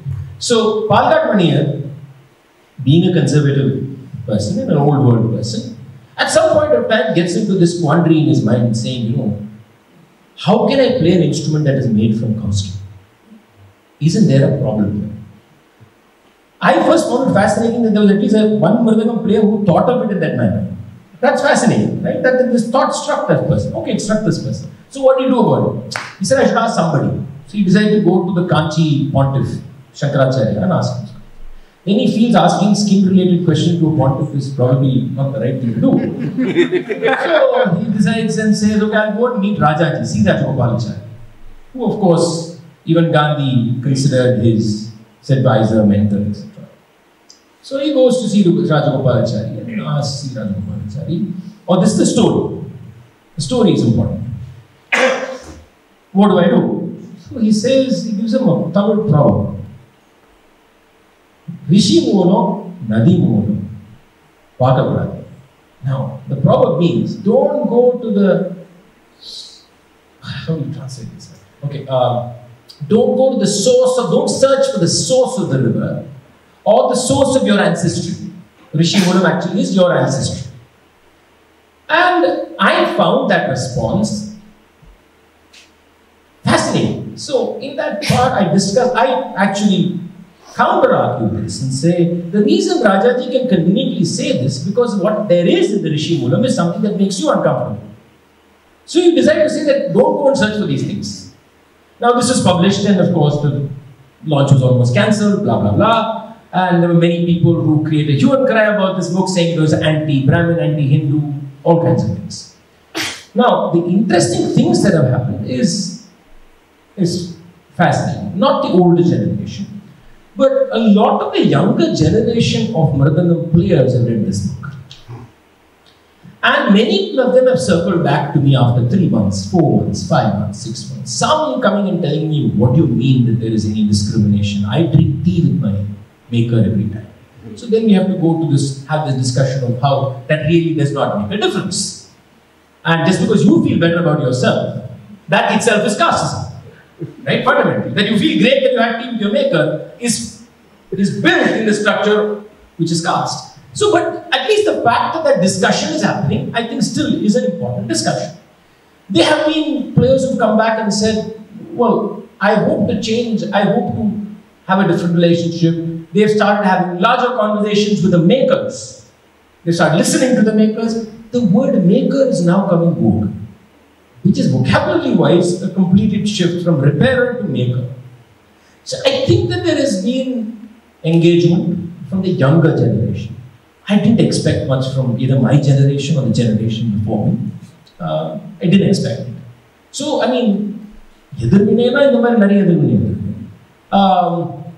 Um, இப்போ அந்த அந்த புத்தகம் வெளியிடுறதுக்கே ஒரு இடம் ஆமா அதான் சொன்னேன் I mean, Kalakshetra was supposed to uh, given us the space. They actually put out a statement says we will not host an event that may cause the communal disharmony, something like that, something to that, it's that effect basically. Uh, but the Mridangam makers, that's an important thing. When it came out in English, the truth is that none of them had read it. It was in English. So I spent an entire four hours describing chapter by chapter, saying what there is, including the conflicts between them that exist. Because the book also talks about conflicts within the communities. I mean, there, there, there is a Dalit community, then there is a, another community that's slightly higher in the hierarchy, and there's lack of conversations there, there's discrimination between the Chennai maker and the Tanjavur maker, all kinds of things happen there. But after the Tamil book came, is when they actually called me. And a few of them had a chat with me. And until now, I've, I've not heard any maker come and say that you completely misinterpreted or misrepresented anything. I think uh, there was one complaint that came, yes, actually from Saudi's, Sharada, Saudi's wife, where in the translation there was a problem. So she said, no, you translate what I said wrong. Said, We corrected, we corrected it. Uh, otherwise, I think what they have found, they feel very strongly that this book has told their story and uh, does describe their feelings. And there are many parts in the book where I do not reveal who the maker is. I use pseudonyms uh, because they have existing relationships with players and their profession depends on that. So there are quotes that go in third person sometimes and sometimes with changed names. I overall our uh, response has been until now been they really like reading the book. One person saying, "No, no, தொடர்கதை படிக்கிற மாதிரி இருந்தது." That's all. So to come back to uh, first question, the relationship between uh, T.M. Krishna and Perumal Murugan. எங்க ஆரம்பிச்சது where did it start you know so i'm sure everybody knows about a very uh, interesting important ambedkar sindhu so in 2021 if i'm not mistaken That song was 20. 20 2020 for 150th i was 21, actually, 21 actually. 150th uh, ambedkar jayanti ka Uh, 21. uh, 2020 Yeah. So முதல் கேள்விக்கான ஒரு அந்த relationship எங்கேருந்து வந்தது? ஏன்? எப்படி? எங்கே ஆரம்பிச்சதுன்ற ஒரு விஷயங்கள்ல நம்ம இப்போ நுழையலாம்னு நினைக்கிறேன். அம்பேத்கர் சிந்து. சிந்து என்ன? What is Sindhu so Sindhu is a Tamil poetic. So Ambedkar சிந்துன்ற விஷயங்கள் எப்படி வந்தது? சிந்து அஹ், சிந்து அப்படின்னா என்ன? அதில் காவடி சிந்து அம்பேத்கர் காவடி சிந்து கரெக்டாக சொல்லணும் அப்படின்னா. ஸோ அதை பற்றி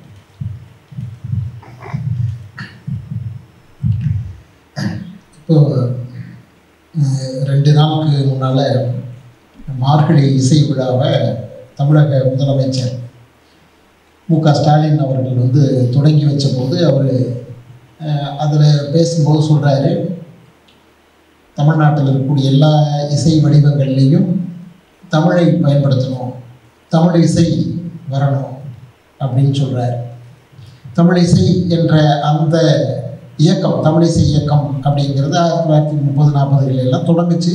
இன்னைக்கு வரைக்கும் நம்ம வந்து இப்போவும் தமிழில் பாடணும் அப்படின்னு நம்ம கேட்க வேண்டியதாகவும் சொல்ல வேண்டியதாகவும் தான் இன்றைக்கும் இருந்துகிட்டு இருக்குது. இந்த சூழலில் தான் ஒரு ஒரு நான் அஞ்சு ஆண்டுகளுக்கு முன்னாடி நான் ஒரு அஞ்சுக்கு மேல என்னங்க? ரெண்டாயிரத்தி பதினெட்டு பதினாறு பதினாறு. ஆமாம் ரெண்டாயிரத்தி பதினாறில் ஒரு இலக்கிய நிகழ்ச்சியில் கிருஷ்ணாவை நான் சந்தித்தேன் நான் அவரை ச குறிப்பாக அவரை சந்திக்கணும்னு நான் கேட்டு சந்தித்தேன் என்னத்துக்காகன்னு சொன்னால் எனக்கு இந்த மாதுர்பாகன் புத்தக பிரச்சனை வந்த சமயத்தில் நான் அப்போ வந்து அதுலேருந்து கொஞ்சம் விடுபடுறதுக்கு எத்தனையோ பல விதமான முயற்சிகள் செஞ்சேன். அதில் ஒன்று வந்து தமிழில் இருக்கக்கூடிய மரபான ஒரு செய்யுள் வடிவம் விருத்தம் அப்படின்ட்டு. கம்பராமாயணம்லாம் அந்த விருத்த பா வடிவத்தில் இருக்கும். அது மாதிரி அந்த வடிவத்தில் கொஞ்சம் எழுதினேன் நான். அதில் ஒரு கிட்டத்தட்ட ஒரு நாற்பது விருத்தங்கள் வந்து எழுதியிருந்தேன். அப்போ எனக்கு என்ன தோணுச்சுன்னா அது கிருஷ்ணாவுடைய கச்சேரிகள் கேட்டெல்லாம் ஒரு அது ஒவ்வொரு ஒவ்வொரு இதுலேயும் வரும். சரி மற்ற கர்நாடக இசை பாடகர்களும் ஒரு விருத்தம் பாடுவாங்க. ஒரு ஒரு கச்சேரியிலையும். அதனால் எனக்கு இதில் ஒரு ரெண்டு விருத்தம் உங்களுக்கு பிடிச்ச மாதிரியான விருத்தம் இசைக்கு பொருந்துச்சுன்னா எனக்கு பாடி கொடுங்க. எனக்கு கேட்கறதுக்கு வேணும்னு சொன்னேன் நான். இப்போ அவர் வந்து நீங்கள் அதை ஒன்று வாசிங்கன்னாரு. நான் ஒரு விருத்தத்தை வாசித்தேன் வாசித்த உடனே இது ரொம்ப அருமையாக பொருந்ததே. இது உங்களுக்கு மட்டும் என்னத்துக்கு நான் கச்சேரியிலேயே பாடுறேன் அப்படின்னு சொல்லிட்டார். அதுக்கப்புறம் அவர் கச்சேரியில் பாடினாரு. அது மட்டும் இல்லை அப்போ என்ன சொன்னாருன்னா இப்போ தமிழில் அவர் சொன்னது தான் தமிழில் வந்து கிட்டத்தட்ட தொண்ணூற்றி ஒன்பது சதவீத கீர்த்தனைகள் எல்லாமே பக்தி சார்ந்ததாக பாரதியார் மாதிரி ஒரு சில பேர்த்துடைய ஏதோ ஒரு சதவீதம் தான் வந்து வேற விஷயங்களை பற்றி பேசுகிறதா இருக்கும். அதனால் திரும்ப திரும்ப அதையே பாடிக்கிட்டே இருக்கிற மாதிரி இருக்குது. ஒரே விதமான கண்டென்ட் தான் வருது. அதனால் வேற வேற வகைகள்லாம் பாடலாம்னு பாடலாம். நீங்கள் கீர்த்தனை எழுதி கொடுங்க. நான் பாடுறேன். So we we just after uh, the issue with Madhur had happened.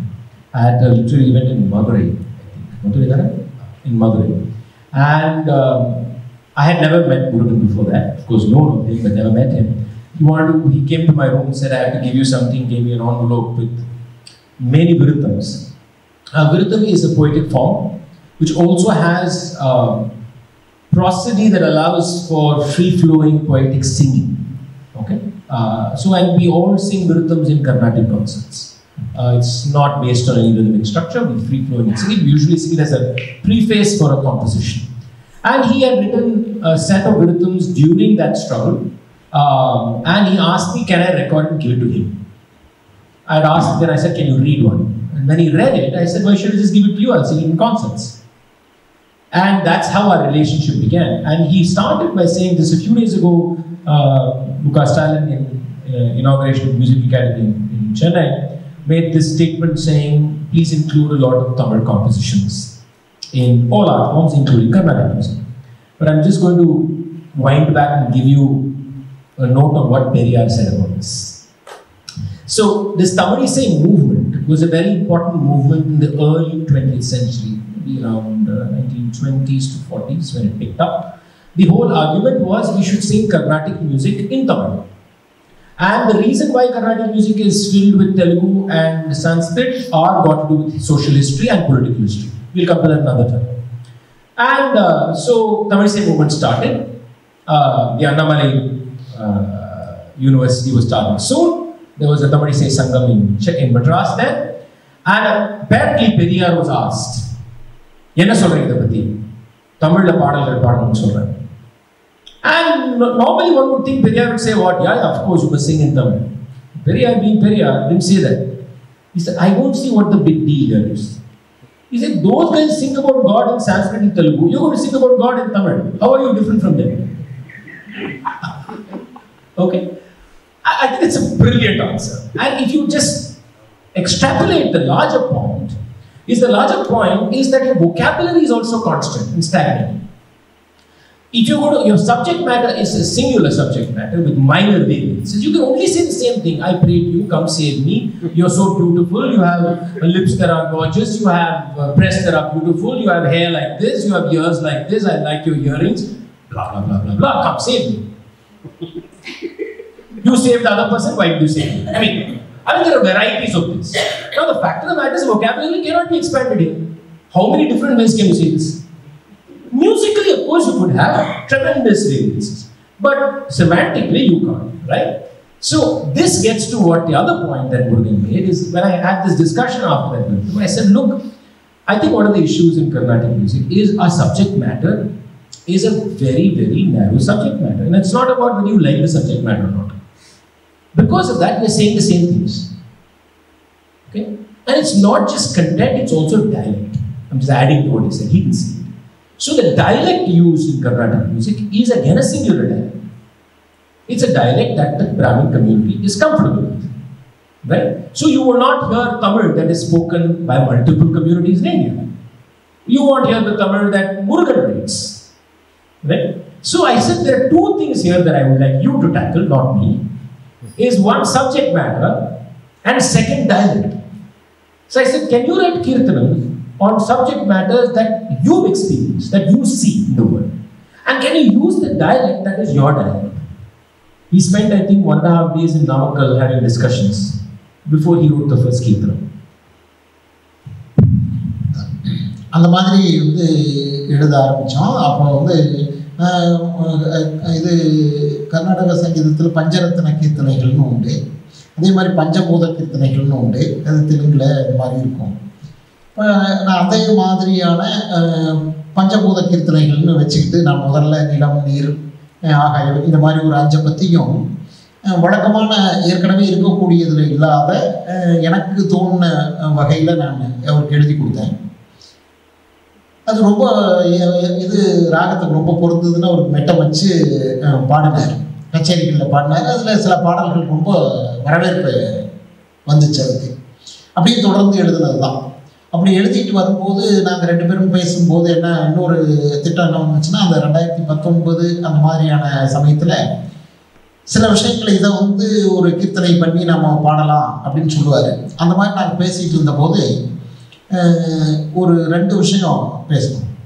ஒன்று இந்த மேனுவல் ஸ்கேவஞ்சர்ஸ் அதை பற்றி வந்து நாம் ஒரு கீர்த்தனை எழுதணும். அவர் இதுக்காக இந்தியாவில் மிகப்பெரிய அளவுக்கு போராடி கொண்டு இருக்கக்கூடியவர் பெஜவாடா வில்சன். நீங்கள் பல பேர் கேட்டிருக்கக்கூடும். அவர் ரமோன் மகசேசே அவார்டு வாங்கினவர். கிருஷ்ணா வாங்கின அதே வருஷம் ரெண்டு பேர் வாங்கினாங்க. அவரோட ஒரு பெரிய இன்டர்வியூ நான் எடுத்தேன். அதுலேருந்து எனக்கு அதை பற்றியான ஒரு புரிதல் இருந்தது. கிருஷ்ணாவுக்கும் அவர் தெரியும். அதுலேயும் இவரும் கொஞ்சம் ஈடுபட்டிருக்காரு. அதனால் அது சம்மந்தமாக நாம் ஒன்று செய்வோம்னு சொன்னார். அதே போல் ரெண்டு தலைவர்களை பற்றி கீர்த்தனைகள் எழுதணும் அப்படின்னு பேசணும். ஒன்று அம்பேத்கர் இன்னொன்று பெரியார். இரண்டு பேரை பற்றி நம்ம கர்நாடக இசையில் நாம் கொண்டு வரணும் அப்படின்ட்டு.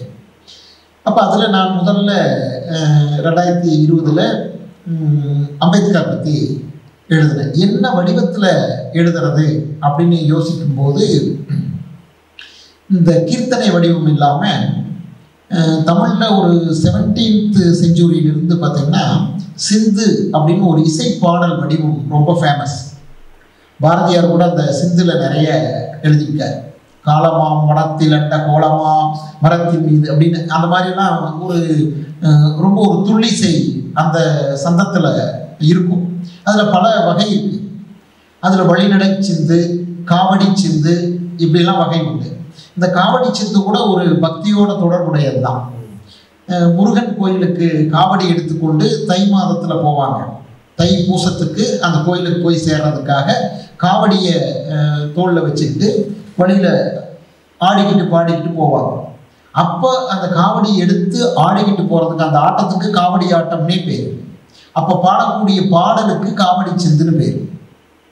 அந்த முருகனை புகழ்ந்து பாடக்கூடிய வடிவமாக அந்த காவடி சிந்து இருக்கும் அந்த வடிவத்தை எடுத்து நாம் அம்பேத்கருக்கு பயன்படுத்தலாம் அப்படின்னு நான் முயற்சி பண்ணினது தான் அந்த அம்பேத்கர் பற்றியான அந்த சிந்து Okay. Um, how did we evolve themes? I mean, initially he wrote five songs on the five elements. And there are, uh, I mean, five compositions by Muthuswami Dikshitar on the five elements. Very famous compositions. But I think the very big difference is the elements in those, considering Dikshitar's own social and cultural and religious upbringing, are centered around faith, around them being elements of Shiva. But his five elements are elements of experience, of human experience. So, for example, tea, the fire is actually flowing in the song, right? And how fire actually flows when it actually catches fire, if you've seen fire moving. So he wrote that, and then we, you know, we got back and forth on many themes, and he touched upon one which I will come back to you about, because we struggled with that theme, I know. Uh, but we also decided we'll write two songs, one on Ambedkar and one on Periyar. Of course, we are being subversive.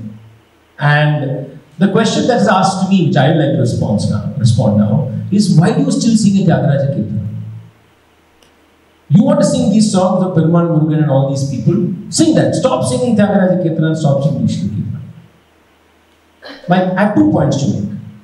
One is Tyagaraja is still a brilliant composer, still a genius at work. I don't have to agree with everything Tyagaraja said or stood for. But I will still interact with his composition. I will still have a Kalandurayana with his composition. But what I will also do is challenge Tyagaraja.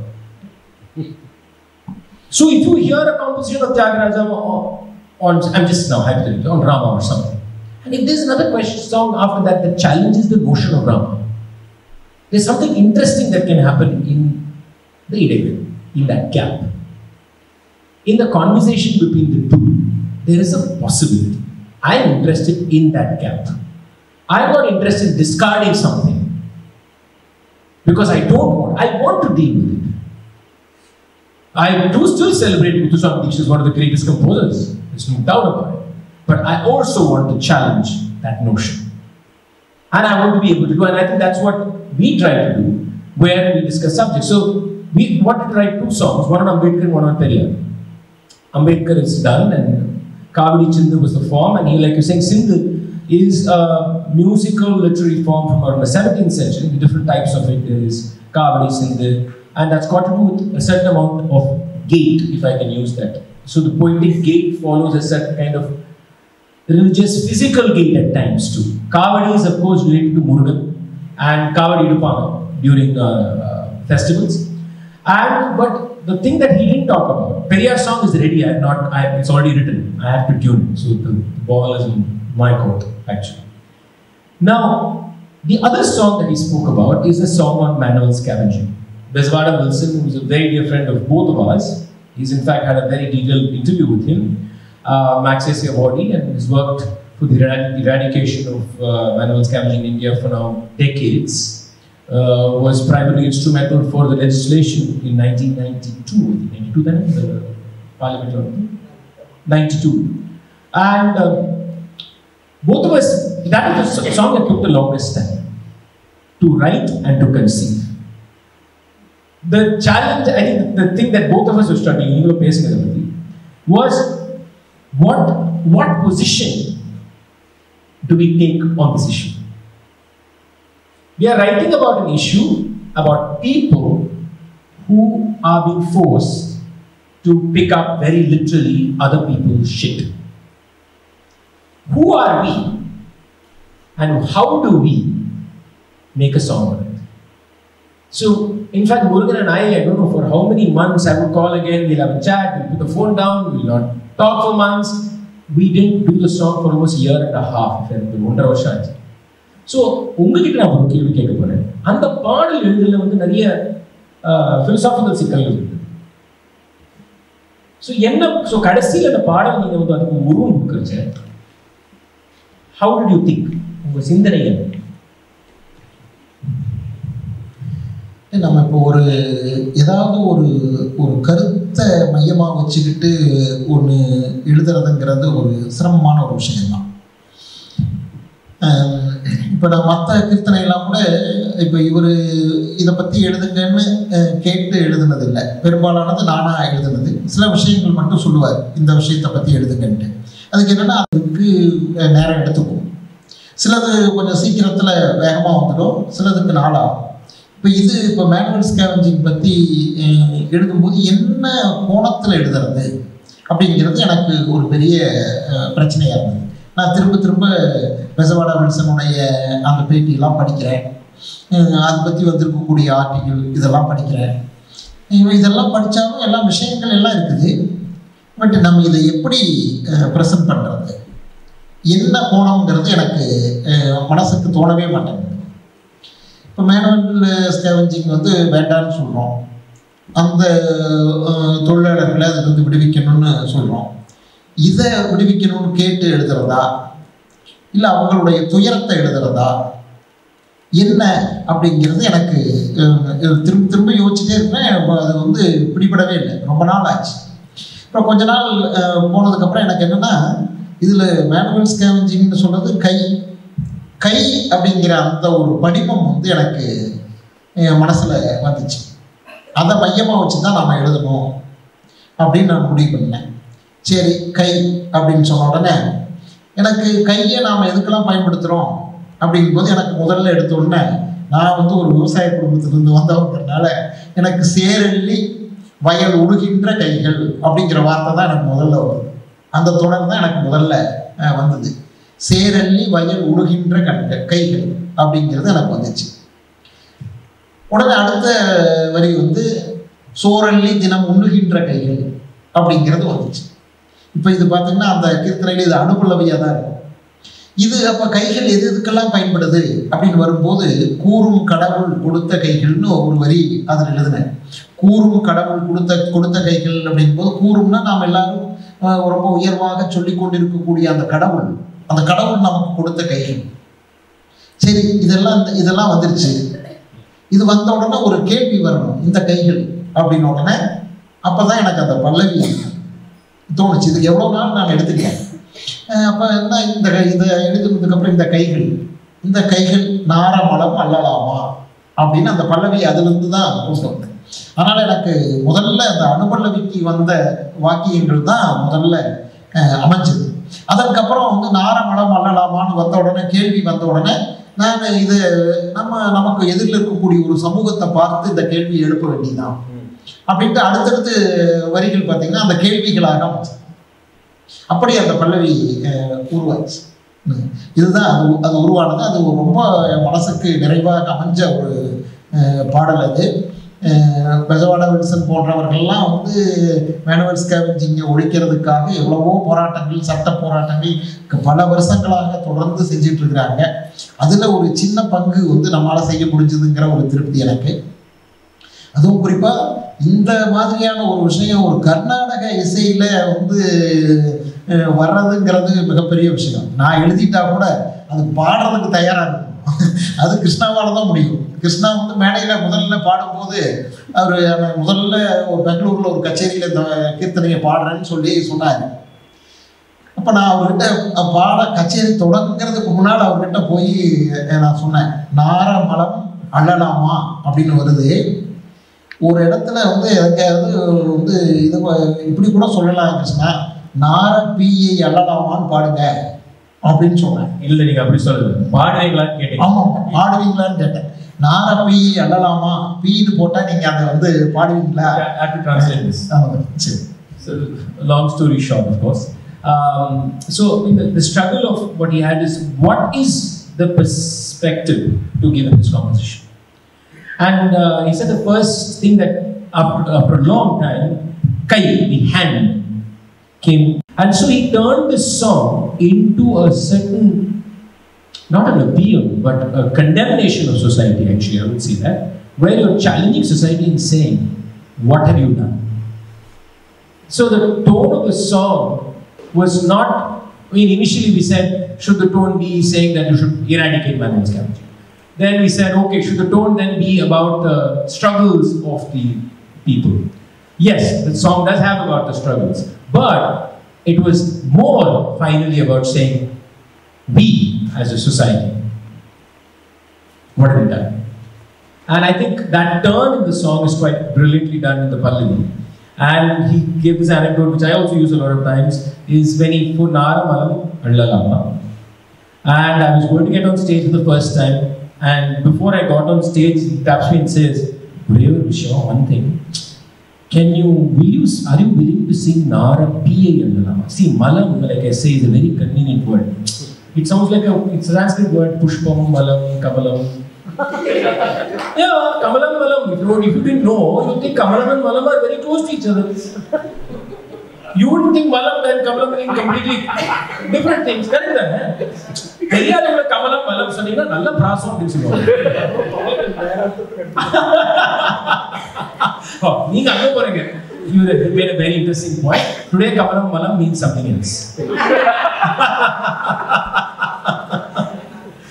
so, Uh, but P is, you know, I always say in English that malam is feces, P is shit.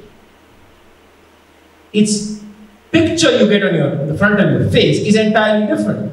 So when he said P to me, I saw shit. Now it's very easy for him to write it, not very easy to sing with my social condition because I'm conditioned. I'm not used to singing Bhairavi Ragam saying shit. I mean, the contradiction for me is like, it's like, it doesn't even make sense in my head. All I'm saying is that it's also a struggle because it challenges your condition, right? So, intellectually being in a certain manner is very different from emotionally actually being in some place because there is a, a- an internal stomach churn that has to happen there.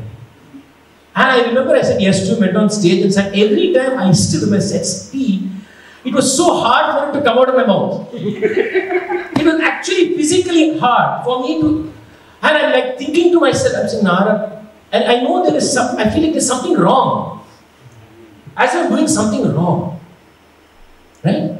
Of course, I mean, after some time, P, Malam, Kamalam all sound the same. You get used to it. That's a different thing. But I'm saying that this, so even when you set music, right, to say words, to dialects, so not just the meaning, it's dialects. Sometimes you're not used to saying certain words and certain melodies. How do you how do you utter it? Also remember the words said and the words sung are not the same.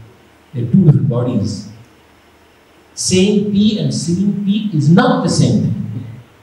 You ask any singer of any genre, they'll tell you this.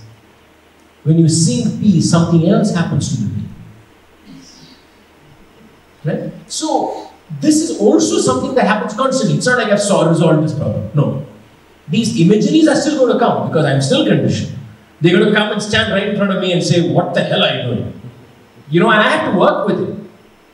Right? So, I'll leave it there. Ambedkar. Okay, I'll just sing one verse from it. Uh, thank goodness you warned me, so I picked out the lyrics and kept it.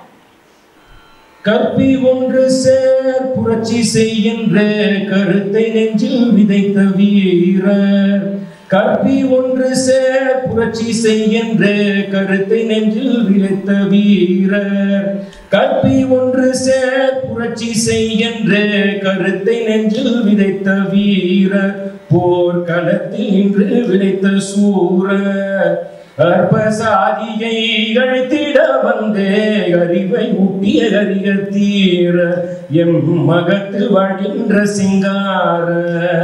கற்பி ஒன்று சேர் புரட்சி செய்கின்ற கருத்தை நெஞ்சில் விதைத்த வீர போர்க்களத்தில் நின்று விளைத்த சூர. அற்ப சாதியை அழித்திட வந்த அறிவை ஊட்டிய அறிய தீர எம் மகத்தில் வழின்ற சிங்கார மாற்ற ஊற்றுமதியில் நெருப்பு. மாற்ற ஊற்றுமதியில் நெருப்பு மனுவை கொள்ள வந்த மழுவான் மாற்ற ஊற்றுமதியில் நெருப்பு மனுவை கொள்ள வந்த மழுவான் அவர் மண்ணை பிளந்து தந்த கொழுவாம். ஆற்றல் வேகம் அருளும் மேகம் மணலில் சொற்கள் பிடித்து எழுவோம். அவர் அடியில் விழுந்து வணங்குவோம்.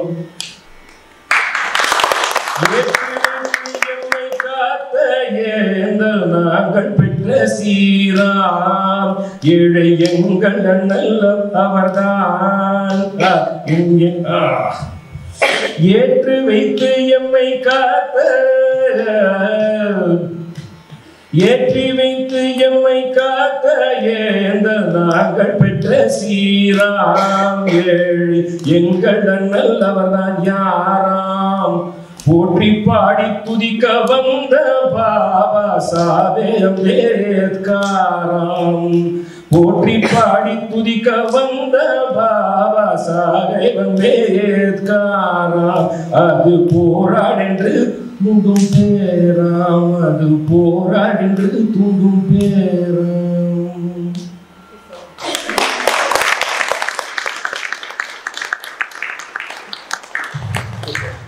Thank you. So I'm opening the session for questions, interactions. So please, any questions? செய்கிறவங்களுக்கும் வாசிப்பவங்களுமான இடைவெளி பற்றி பேசும்போது எனக்கு அதில் இது வரைக்கும் சொல்லாத ஒரு வார்த்தை இந்த இந்த கான்வர்சேஷனில் நீங்கள் சொல்லாத ஒரு வார்த்தை வந்து அன்டச்சபிலிட்டி அதுதான் வந்து இப்போ அவர் பெருமனுடன் சொல்லும்போது அவர் பார்த்த கருவி கருவியை செய்தவங்களும் வாசிக்கிறவங்களும் ஒன்று அப்படின்ற போது செவ்வியல் இசைக்கு மட்டும் கருவியை செய்கிறவங்க வேறையா இருக்காங்க வாசிக்கிறவங்க வேறையா இருக்காங்கன்ற போது வர ஒரு ஒரு விஷயம் வந்து தீண்டாமை தீண்டாமை அதை சார்ந்த பொல்யூஷன் ரிச்சுவல் பொல்யூஷன்ன்ற ஒரு விஷயம். அப்புறம் நீங்க பெண்களை செய்யலன்னு சொன்னீங்க இல்லையா? பெண்களை செய்யலன்னு சொல்லும்போது எனக்கு அதுலயும் எனக்கு உதித்தது வந்து இந்த விஷயம் தான் என்னன்னா இப்போ நீங்க ஊர்ல சென்னையில எல்லா இடத்துலயும் இஸ்திரி போடுறவங்க பாத்தீங்கன்னா ஆண்கள் அவங்க கடையில இருந்து இஸ்திரி போடுவாங்க பெண்கள் மட்டும் தான் வீடு வீடா போய் வாங்கிட்டு வருவாங்க. இப்போ இது வந்து நான் அந்த சாதி சாதி சார்ந்த ஆண் பெண் உறவு அதுல இருக்கிற ஒரு பெண்ணை வந்து ஆணுடைய கட்டுப்பாட்டுக்குள்ள வைத்துக் கொள்ளணும் அப்படின்ற ஒரு விஷயம் அதுல இருக்கு. அப்போ நீங்க அது தொடர்ந்து நீங்க வந்து மூணாவது உதாரணம் சொன்னீங்க இல்லையா? மூணாவது ஒரு பெண் வந்து அவங்க ஒரு பிராமண பெண் வந்து அவங்க தோல் கருவி செய்யறாங்க அப்படின்னு சொல்லும்போது அதுல இன்டர்காஸ்ட் மேரேஜ்ன்றது வந்துருது. Uh, uh, well, I'll give you the gist. He said that he took, he said at the base of the conversation that we had, a word that we both did not use was untouchability. That at the base of this entire thing exists this notion of purity, this notion of uh, uh, as we say, untouchability, and ritual related kind of notions of social purity and cultural purity. Um, the other point that he made was, I'm missing something in between, I know, uh, but I will try one. Uh, the third point, which I think which is registered again now for me, is this: when there was a Brahmin woman making the murder, right? Um, so what was that? What does that signify? Um, and an analogy he used was a Brahmin woman making mridangam was something like an intercaste marriage, in which I said that I don't agree with that analogy, though the point is well taken. He also spoke about, for example, why women are not making the instrument.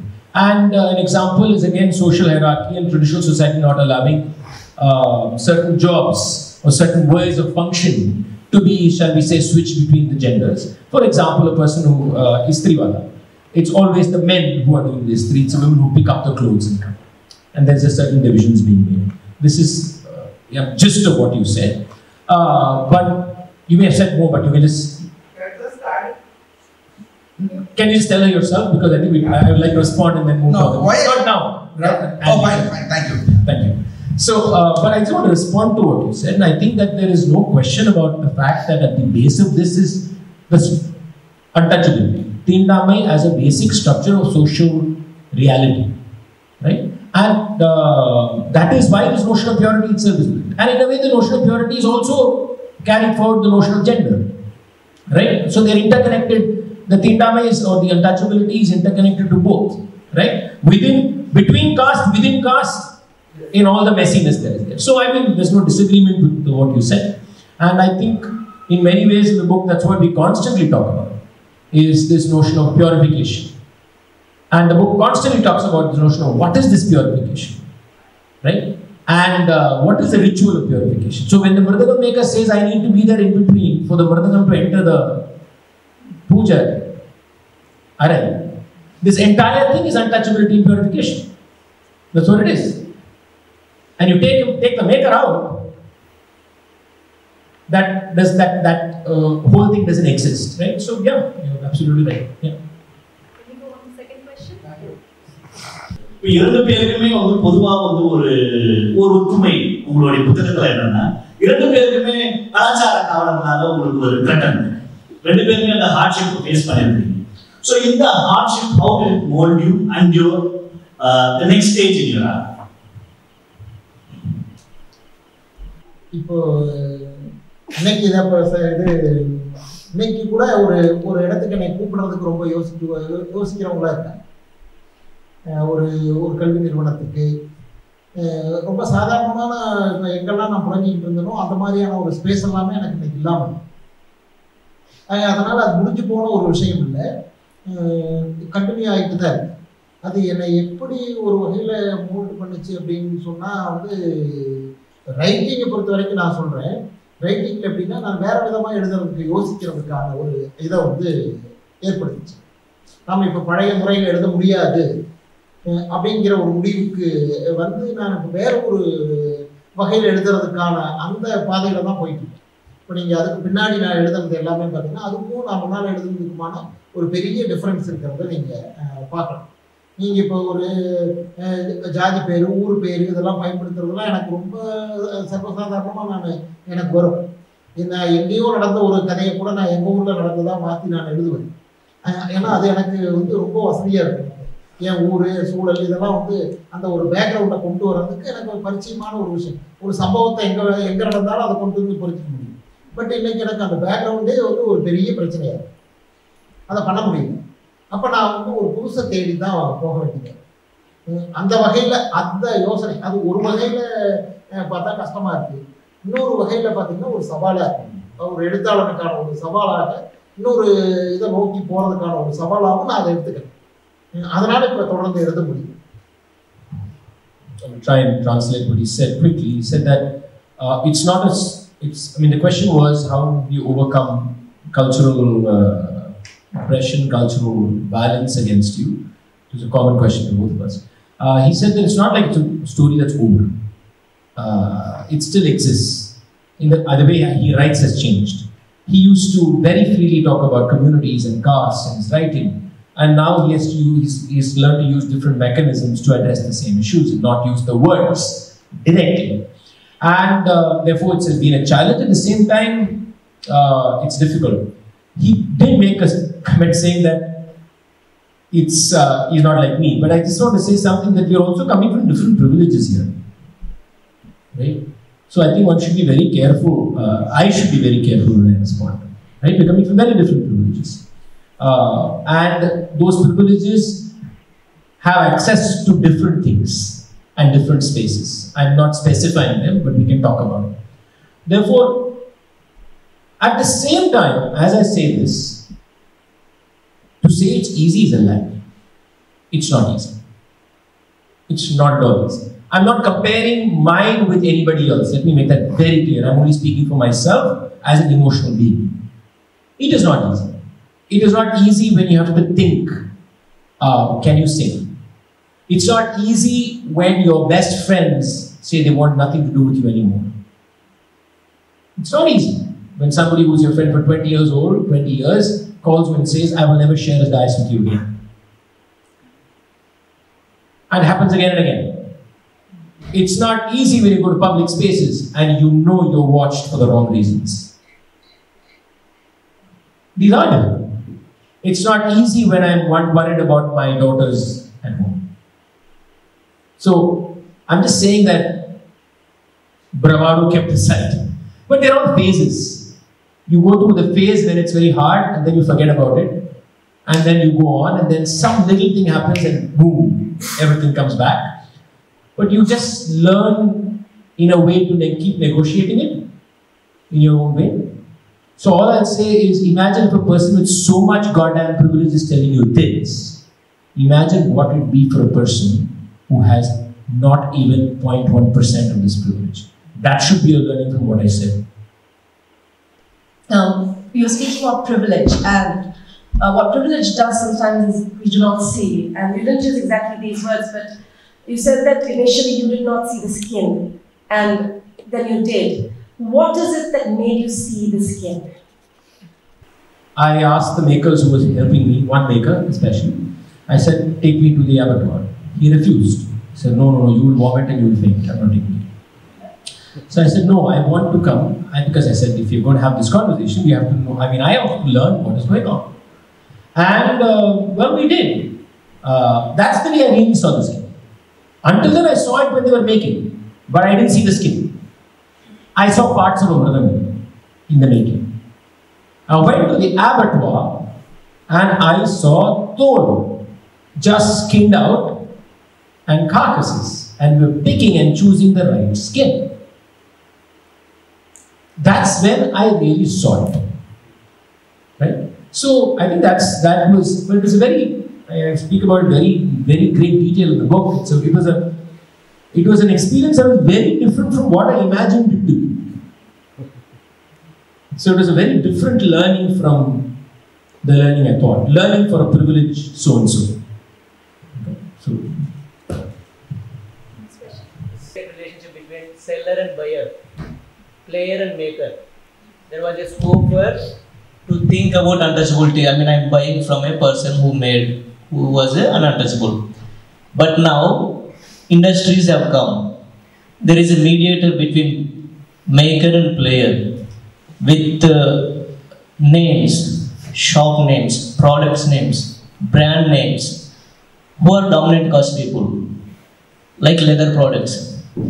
How to see this? How to I- I'm feeling like that is erasing this thought of uh, experiencing or feeling the notion that this has come from an untouchable or this has come from dead animals. just to clarify, you're saying the shop is. I'm telling I got it. I got The industrialization. Exactly.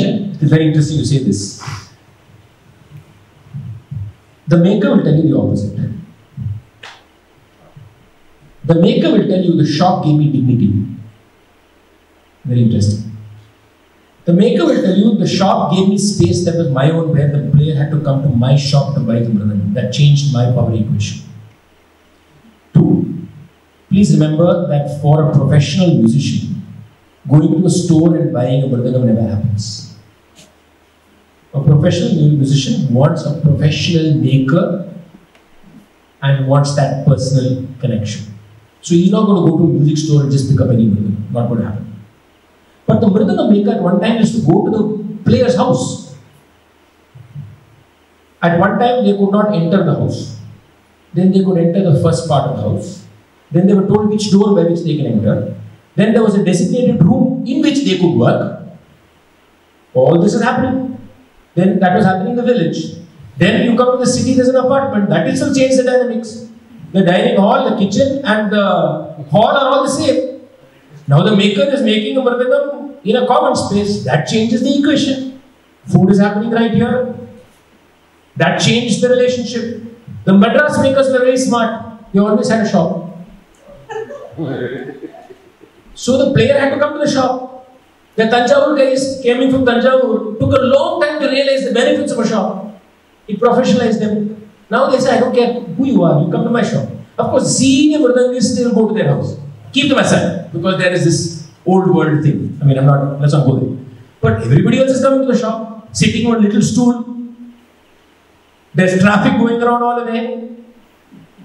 That changes. So the question is, who is asking this question?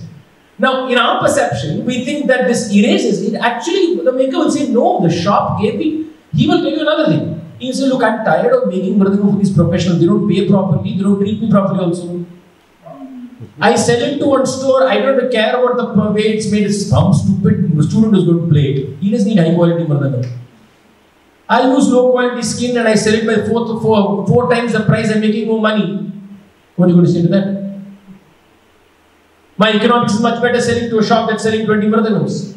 So the question is, who is asking this question and who is responding to this question? The answer changes. To me, I'll say, oh, the shop guys made completely, capitalism is completely made it that we forget the real maker. No, the maker will tell you something else. Just, I'm just saying that makers have told me this. But I'm, I'm just repeating what I've been told. So it's a, it's a very different way they look at it. So they love their shop. There's great pride in their shop and they have no problem selling these mridangams to. Of course, there'll be one only professional maker who makes one says, all these guys make low quality mridangams selling to the shop. But that guy I'm exporting 40 mridangams a month, I make more money. So complex economics here.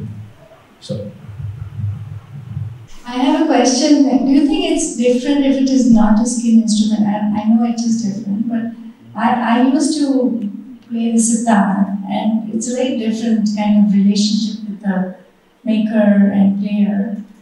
And um, in my experience, when you, like, of course, I'm not professional, so I bought it from relatively okay kind of shop, but you don't have the relationship that you expect. But yes, I know that people, the, the big sitarists used to go to one particular shop in Calcutta and only they would make the the ja- Jawari for them and all that. But there's so many other people also who I feel like for the player, it's actually also it's also a relationship you create with your instrument. And over years and years, it's like it's like a prayer, you know. It's, and then it becomes yours, and it's only yours. And nobody else can touch that sitar and bring out the same sound. So, isn't that also something that is important to recognize? Nothing, nothing against all what you said. I think is great, but maybe this aspect is also very personal and very important, isn't it? To If somebody feels very close to the instrument, say my body is my instrument, I can't have an argument with that. So I actually cannot have an argument with you about that. If you feel that way, you feel that way. If a player feels that the instrument is his body and this belongs to him, it's an emotional relationship that's happened through years. Yeah. Is it true? Is a different question.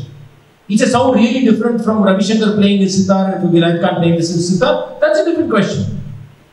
That's a different question. If I can tell you it's somebody else's sitar, you may never know. Probably. So, I won't go there. But if somebody feels that way, fine. You feel that way. And I acknowledge that it's emotional, it's personal. Okay, that I can do. The only thing I want to add is yes, it's different from a wood instrument to a skin instrument. It's completely two worlds. things. Also, the social hierarchy is different. The wood, uh, the carpentry community or the asari community or the achari community are at different social position than the community, the Dalit community that do skin instruments. So there is a hierarchical difference. I'm far more comfortable going to the house of an asari than going to the house of a Dalit. There is a social structural difference across this country. Ask tabla makers what happens to them. That's a different story altogether. Right? So I think that there is a clear distinction that you cannot, and like you yourself said, there's no constant relationship. That changes the dynamics entirely. Yeah. I mean, I have I, I have Tanpuras at home. I believe that Tanpura is, is personal to me. But I've detached myself from it now. Yeah. how Because I don't think it's mine. It's it's not mine. Because then I have to believe that I can only, I can only sing if that is played with me. If I have some other, you know, see, there be technical issues with instruments also that you have to recognize. The, one of the things that instrumentalists are talking about when they say that instrument is yours is they have, by reflex, know exact position of every movement in their hand. So many times they are transferring that to an emotional aspect too. It's like blind, you know which part of the string moves where, what the tensions are through 30 years of playing. So that becomes a bond also, which is why if you give a new instrument, it's not the same thing. Not necessarily because there is anything really different, but you don't know. It takes a while for it to become yours. So there is also a technique aspect that you cannot take away from the emotional connection. I'm not saying there's nothing emotional, but I'm saying there are many other aspects that we need to think about in a hmm. non-passionate way. We'll take one last question. Yeah, Rajiv. நீங்க மலம் பண்றவங்கள பத்தி அஹ், அஹ், இது எழுதி அஹ், கிருஷ்ணா வந்து பாட வச்சீங்க so அதுக்கு எப்படி என்ன ரியாக்ஷன் இருந்துச்சு அது ஆக்சுவலாக அது Okay, just to answer quickly your question, he said that um, the song on Manuel Scavenging, uh, you know, you've got a lot of oppositions for many other things that you've written, but the song on Manuel Scavenging, you write it and then you get me, Krishna, to sing. Um, and what kind of responses did you get? Sing also in the Carnatic. Ah, sing also in the Carnatic version. So, what kind of responses have you got from that? இது எனக்கு அதில் எழுதுறதுல எனக்கு எந்த எதிர்ப்பும் அதெல்லாம் எதுவும் வரல நான் கிருஷ்ணா பாடும்போது அங்கே என்ன மாதிரி நிறைய கச்சேரிகளில் அவர் பாடுறாரு அவர் தான் சொல்லணும் அஹ் என்ன என்ன மாதிரி ரியாக்ஷன் வருது ஏற்றுக்கிறாங்களா என்ன அப்படிங்கிறது. இப்போ பொதுவாக நாங்கள் ரெண்டு பேரும் பேசிகிட்டு இருக்கும்போது இந்த மாதிரி தமிழ் பாடல்களை கச்சேரிகளில் பாடுறதுக்கு ஒரு நல்ல வரவேற்பு இருக்குது அப்படிங்கிறது தெரியுது நிறைய கச்சேரிகளில் அவர் பாடுறாரு. இந்த மாதிரி வித்தியாசமான கண்டென்ட்ல நாம் பாடும்போது அதுக்கான ஆதரவு இருக்கிறத பார்க்க முடியுது. இது இப்போ இந்த நாரம்பலம் மல்லலாமா பாட்டெல்லாம் நிறைய பேர் பாராட்ட தான் செஞ்சாங்க. ஏன்னு சொன்னால் இது இந்த மாதிரி ஒரு விஷயத்த ஒரு கன்னட சங்கீதத்தில் கொண்டு வந்து எல்லாத்துக்கும் கவனத்துக்கு கொண்டு வர்றதுங்கிறது பெரிய விஷயம் அப்படின்னு தான் வந்து சொன்னாங்க.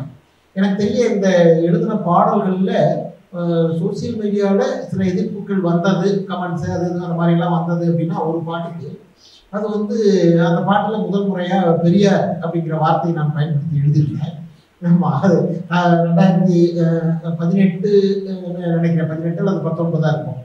அப்போ தமிழ்நாட்டில் சில இடங்களில் பெரியார் சிலையை வந்து சேதம் பண்ணுறது பெரியார் சிலைக்கு செருப்பு போடுறது இந்த மாதிரியான விஷயங்கள் நடந்தது. அப்போ அந்த சமயத்தில் வந்து ஒரு கேரளாவில் ஒரு ஃபெஸ்டிவலில் கிருஷ்ணா பேசும்போது அந்த விஷயத்தை தொட்டு பேசினேன் என்ன சொன்னாருன்னா சிலை வந்து எந்த நமக்கு ஒத்த கருத்துடையவர்களுடைய சிலையா இல்லை முரண்படக்கூடியவர்களுடைய சிலையான்னு பார்க்கக்கூடாது. சிலைங்கிறது ஒரு கலைப்படைப்பு அந்த கண்ணோட்டத்தில் தான் நாம் பார்க்கணும். அந்த ப கண்ணோட்டத்தில் பார்த்தோம்னா நாம் சிலையை சேதம் பண்ண மாட்டோம் அப்படின்னு சொல்லிட்டு பேசிட்டேன். அப்போ அது எனக்கு ரொம்ப அந்த கருத்து ரொம்ப கன்வின்சிங்காக இருந்தது. அப்போ நான் அவர்கிட்ட அந்த சமயத்தில் கேட்கவும் செஞ்சேன். சரி சரி, உங்களுக்கு வந்து இப்போ ஒரு கோட்ஸே சிலையை வந்து சேதம் பண்ணால் அதையும் கண்டிப்பீங்களா அப்படின்னு ஆமாம் கண்டிப்பேன் அப்படின்னு ஏன்னா சிலைங்கிறது ஒரு கலைப்படைப்புன்னு நாம் பார்க்குறோம். அந்த அடிப்படையில் பார்க்கும்போது நீங்கள் அதுக்கு வந்து நீங்கள் இன்டர்பிரிட்டேஷன் வேணால் வேற கொடுங்க.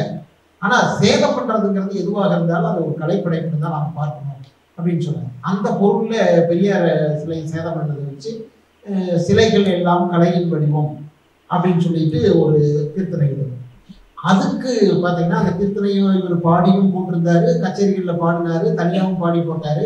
அதுக்கு சோசியல் மீடியாவில் நிறைய மோசமான கமெண்ட்ஸ் இருக்கு அதுதான் மற்றபடி நேரடியாக எதுவும் வரல நிறைய பாடல்களுக்கு நல்ல வரவேற்பு தான் இருக்குது அதை பற்றி கிருஷ்ணாவும் கூட சொல்ல முடியும் I mean, just to translate, he said that uh, for that song specifically, there was no no major opposition that he or, or negative comments, and the song for which that he we received negative remarks was a song that came out of uh, a conversation we had after I spoke at a literary festival in Cochin. This was around the time when a lot of statues were being knocked down. There, you Periyar statue in Tamil Nadu, and I think there was Lenin statue somewhere uh, in Meghalaya or somewhere. And so uh, we had, you know, at the at the uh, literary festival, I said the one thing that we don't think of political statues is that we don't think it is a creation of an artist. We forget that the statue is created by an artist. So ultimately, it is an art object. So to me, defacing any art object is a problem. You can disagree, you can remove, you can keep it hidden, you can say it doesn't have to have a public space, all that's fine. But do we need to destroy it? So, and I said that I, I think there's an issue there. For me, there's an issue there. And he came and said, Are you sure? If there was a statue of God saying, you say the same. I said, Yeah, I would say the same thing if you're going to deface it because some artist created that statue. Of course, we can go back into more complicated questions and was the artist supposed to do a statue of a white person, for example?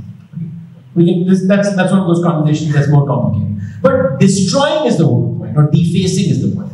And he wrote a composition in which Periyar Silai, uh, uh, கடைசி என்ன வரி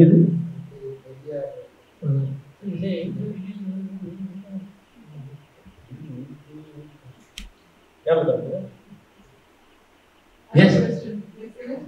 Yes, one second. I'm just trying to remember something. Uh, I forget the last line. Last line Periyar name comes. It's probably the first Carnatic song with Periyar name ever appears. It is actually, I'm sure of it. And for that, there was a lot of remarks saying that somehow we had sullied Carnatic music by bringing Periyar's. Yes, your question.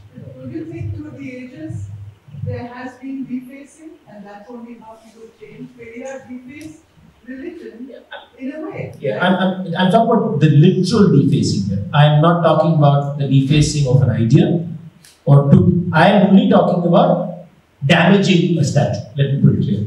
And to me, I said, do we see political statues also as a creation of art, of an artist? And my point then is that you can deface the statue in many ways. And to me, to me, the physical destruction of it was unacceptable. That's my opinion. But can't somebody say that when you are putting P and poo in your song, you are replacing the drum? You're most welcome to sing. I, and they're most welcome to sing. Many people feel that way. Yes. So, so don't you think that So there, but there's there's small difference between the two. There is an aesthetic difference of the two things that you need to recognize. The raga is not a product of P.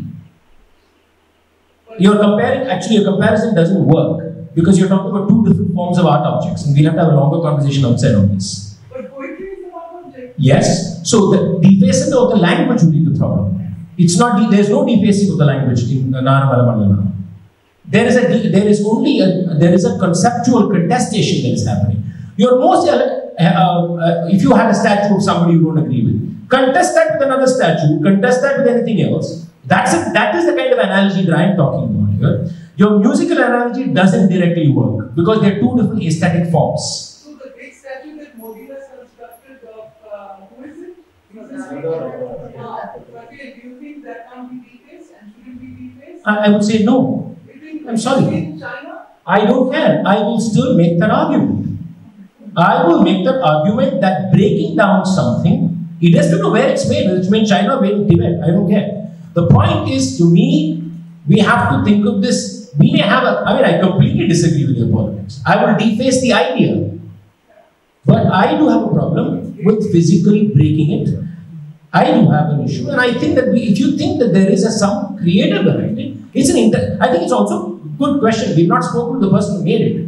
Maybe we should have that conversation, and maybe then we'll have a different opinion. If the person who made that statue is sitting with us today and said, "This is how I made this statue," what are we going to say to that person? That's going to be an interesting conversation to have too. So I think we have, I think there's a lot to think about this is the last, very last question from the. இந்த நாரமலம் மல்லலாமா அந்த அந்த பாட்டை கிருஷ்ணா வந்து ஒரு போன வருஷம் நினைக்கிறேன் ஒரு டிவி கச்சேரியில் டிவிக்குன்னு அவங்க மார்கழி மாதம் ஒளிபரப்புறதுக்காக எடுத்த கச்சேரியில் அந்த பாட்டை பாடினார் பாடிட்டு என்கிட்ட சொன்னார் நான் அதை பாடிடுறேன் அப்படின்ட்டு பட் அவங்க வந்து டிவியில் வரும்போது அந்த பாட்டை ஒளிபரப்பு. அப்புறம் சரிட்டு சரின்ட்டு அந்த பாட்டு நானும் பார்த்தேன் இவன் வரல. அதுக்கப்புறம் அதுலேருந்து அவங்க யூடியூப்பில் அதை போட்டாங்க. அப்பவும் அந்த பாட்டு இல்லை. அப்புறம் ஒரு ரெண்டு மூணு மாதம் கழிச்சு பார்த்தீங்கன்னா அந்த பாட்டு மட்டும் தனியாக போட்டேன். அவங்க. அது ஏதோ ஒரு விதமான ஒரு சங்கடம் வந்து அவங்களுக்கு இருக்குதுன்னு தெரியும். மிருகமும் ஒரு தொழில் செய்கிறது அதையும் ஒரு தொழில் செய்கிறது இப்போ நீங்க கூட உங்க யூடியூப் சேனலை வந்து சொல்லிட்டு அங்க இருக்கிற வரை செய்கிறதோட இம்பாக்ட் பண்ணி அந்த மாதிரி அதே சமயத்தில் நீங்க நீலபரம்பாடு மையம் மாதிரி சில சில அமைப்புகள்லாம் வந்து மார்கழி மக்கள் இசைன்னு சொல்லிட்டு அவங்க சென்னையில வந்து ஒரு அந்த ஒரு மக்களுக்கான இசையை வந்து ஒரு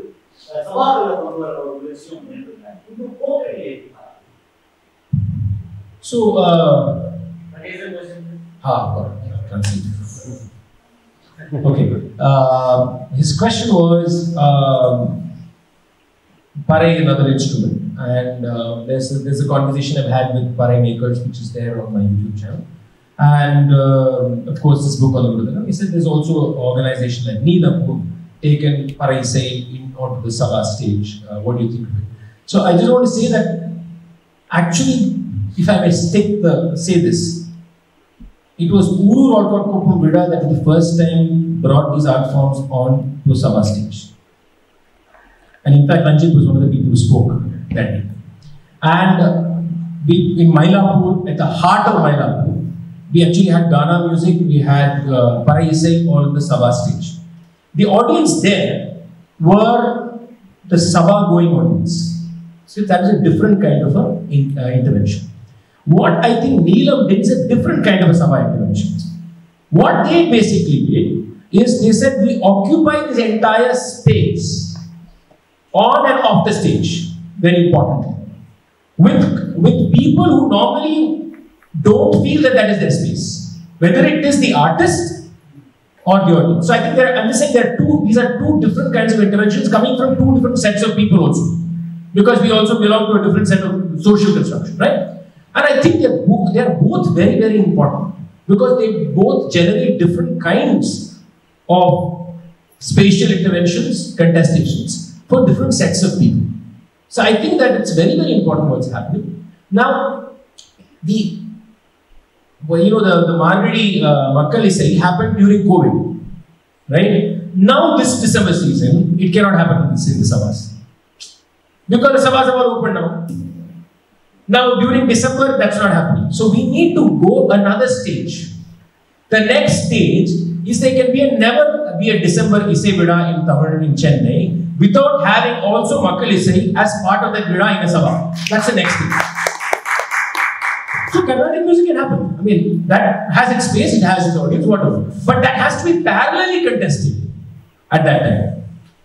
What both these interventions are doing is they are contesting it still in a separate fashion, if I can use that word. I'm, I'm probably not the right word, but you get what I'm saying, right? As separate events. Even that separation is a problem. Right? So I'm saying the next should be there can be no separation. சென்னையில் இசை விழா அப்படின்னா எல்லா இசையும் இருக்கணும் simple so then you really then invaded all spaces and in a way challenge this notion of any space. It'll take time. I don't think it's. I think we are now at a point where this can happen. I would have said this 10 years ago. But I think it can happen very soon. That you have an Isai Vida where Carnatic music may happen in the morning, uh, yeah, Para Isai may happen in the afternoon, uh, Kuthu can happen in the evening. That's interesting. Then multiple audiences are coming in, multiple spaces. There's overlap of audience experiences different things. You have people rubbing shoulders who would not rub shoulders normally in the audience. Then you're allowing for a messy place. More the mess, more interesting things happen.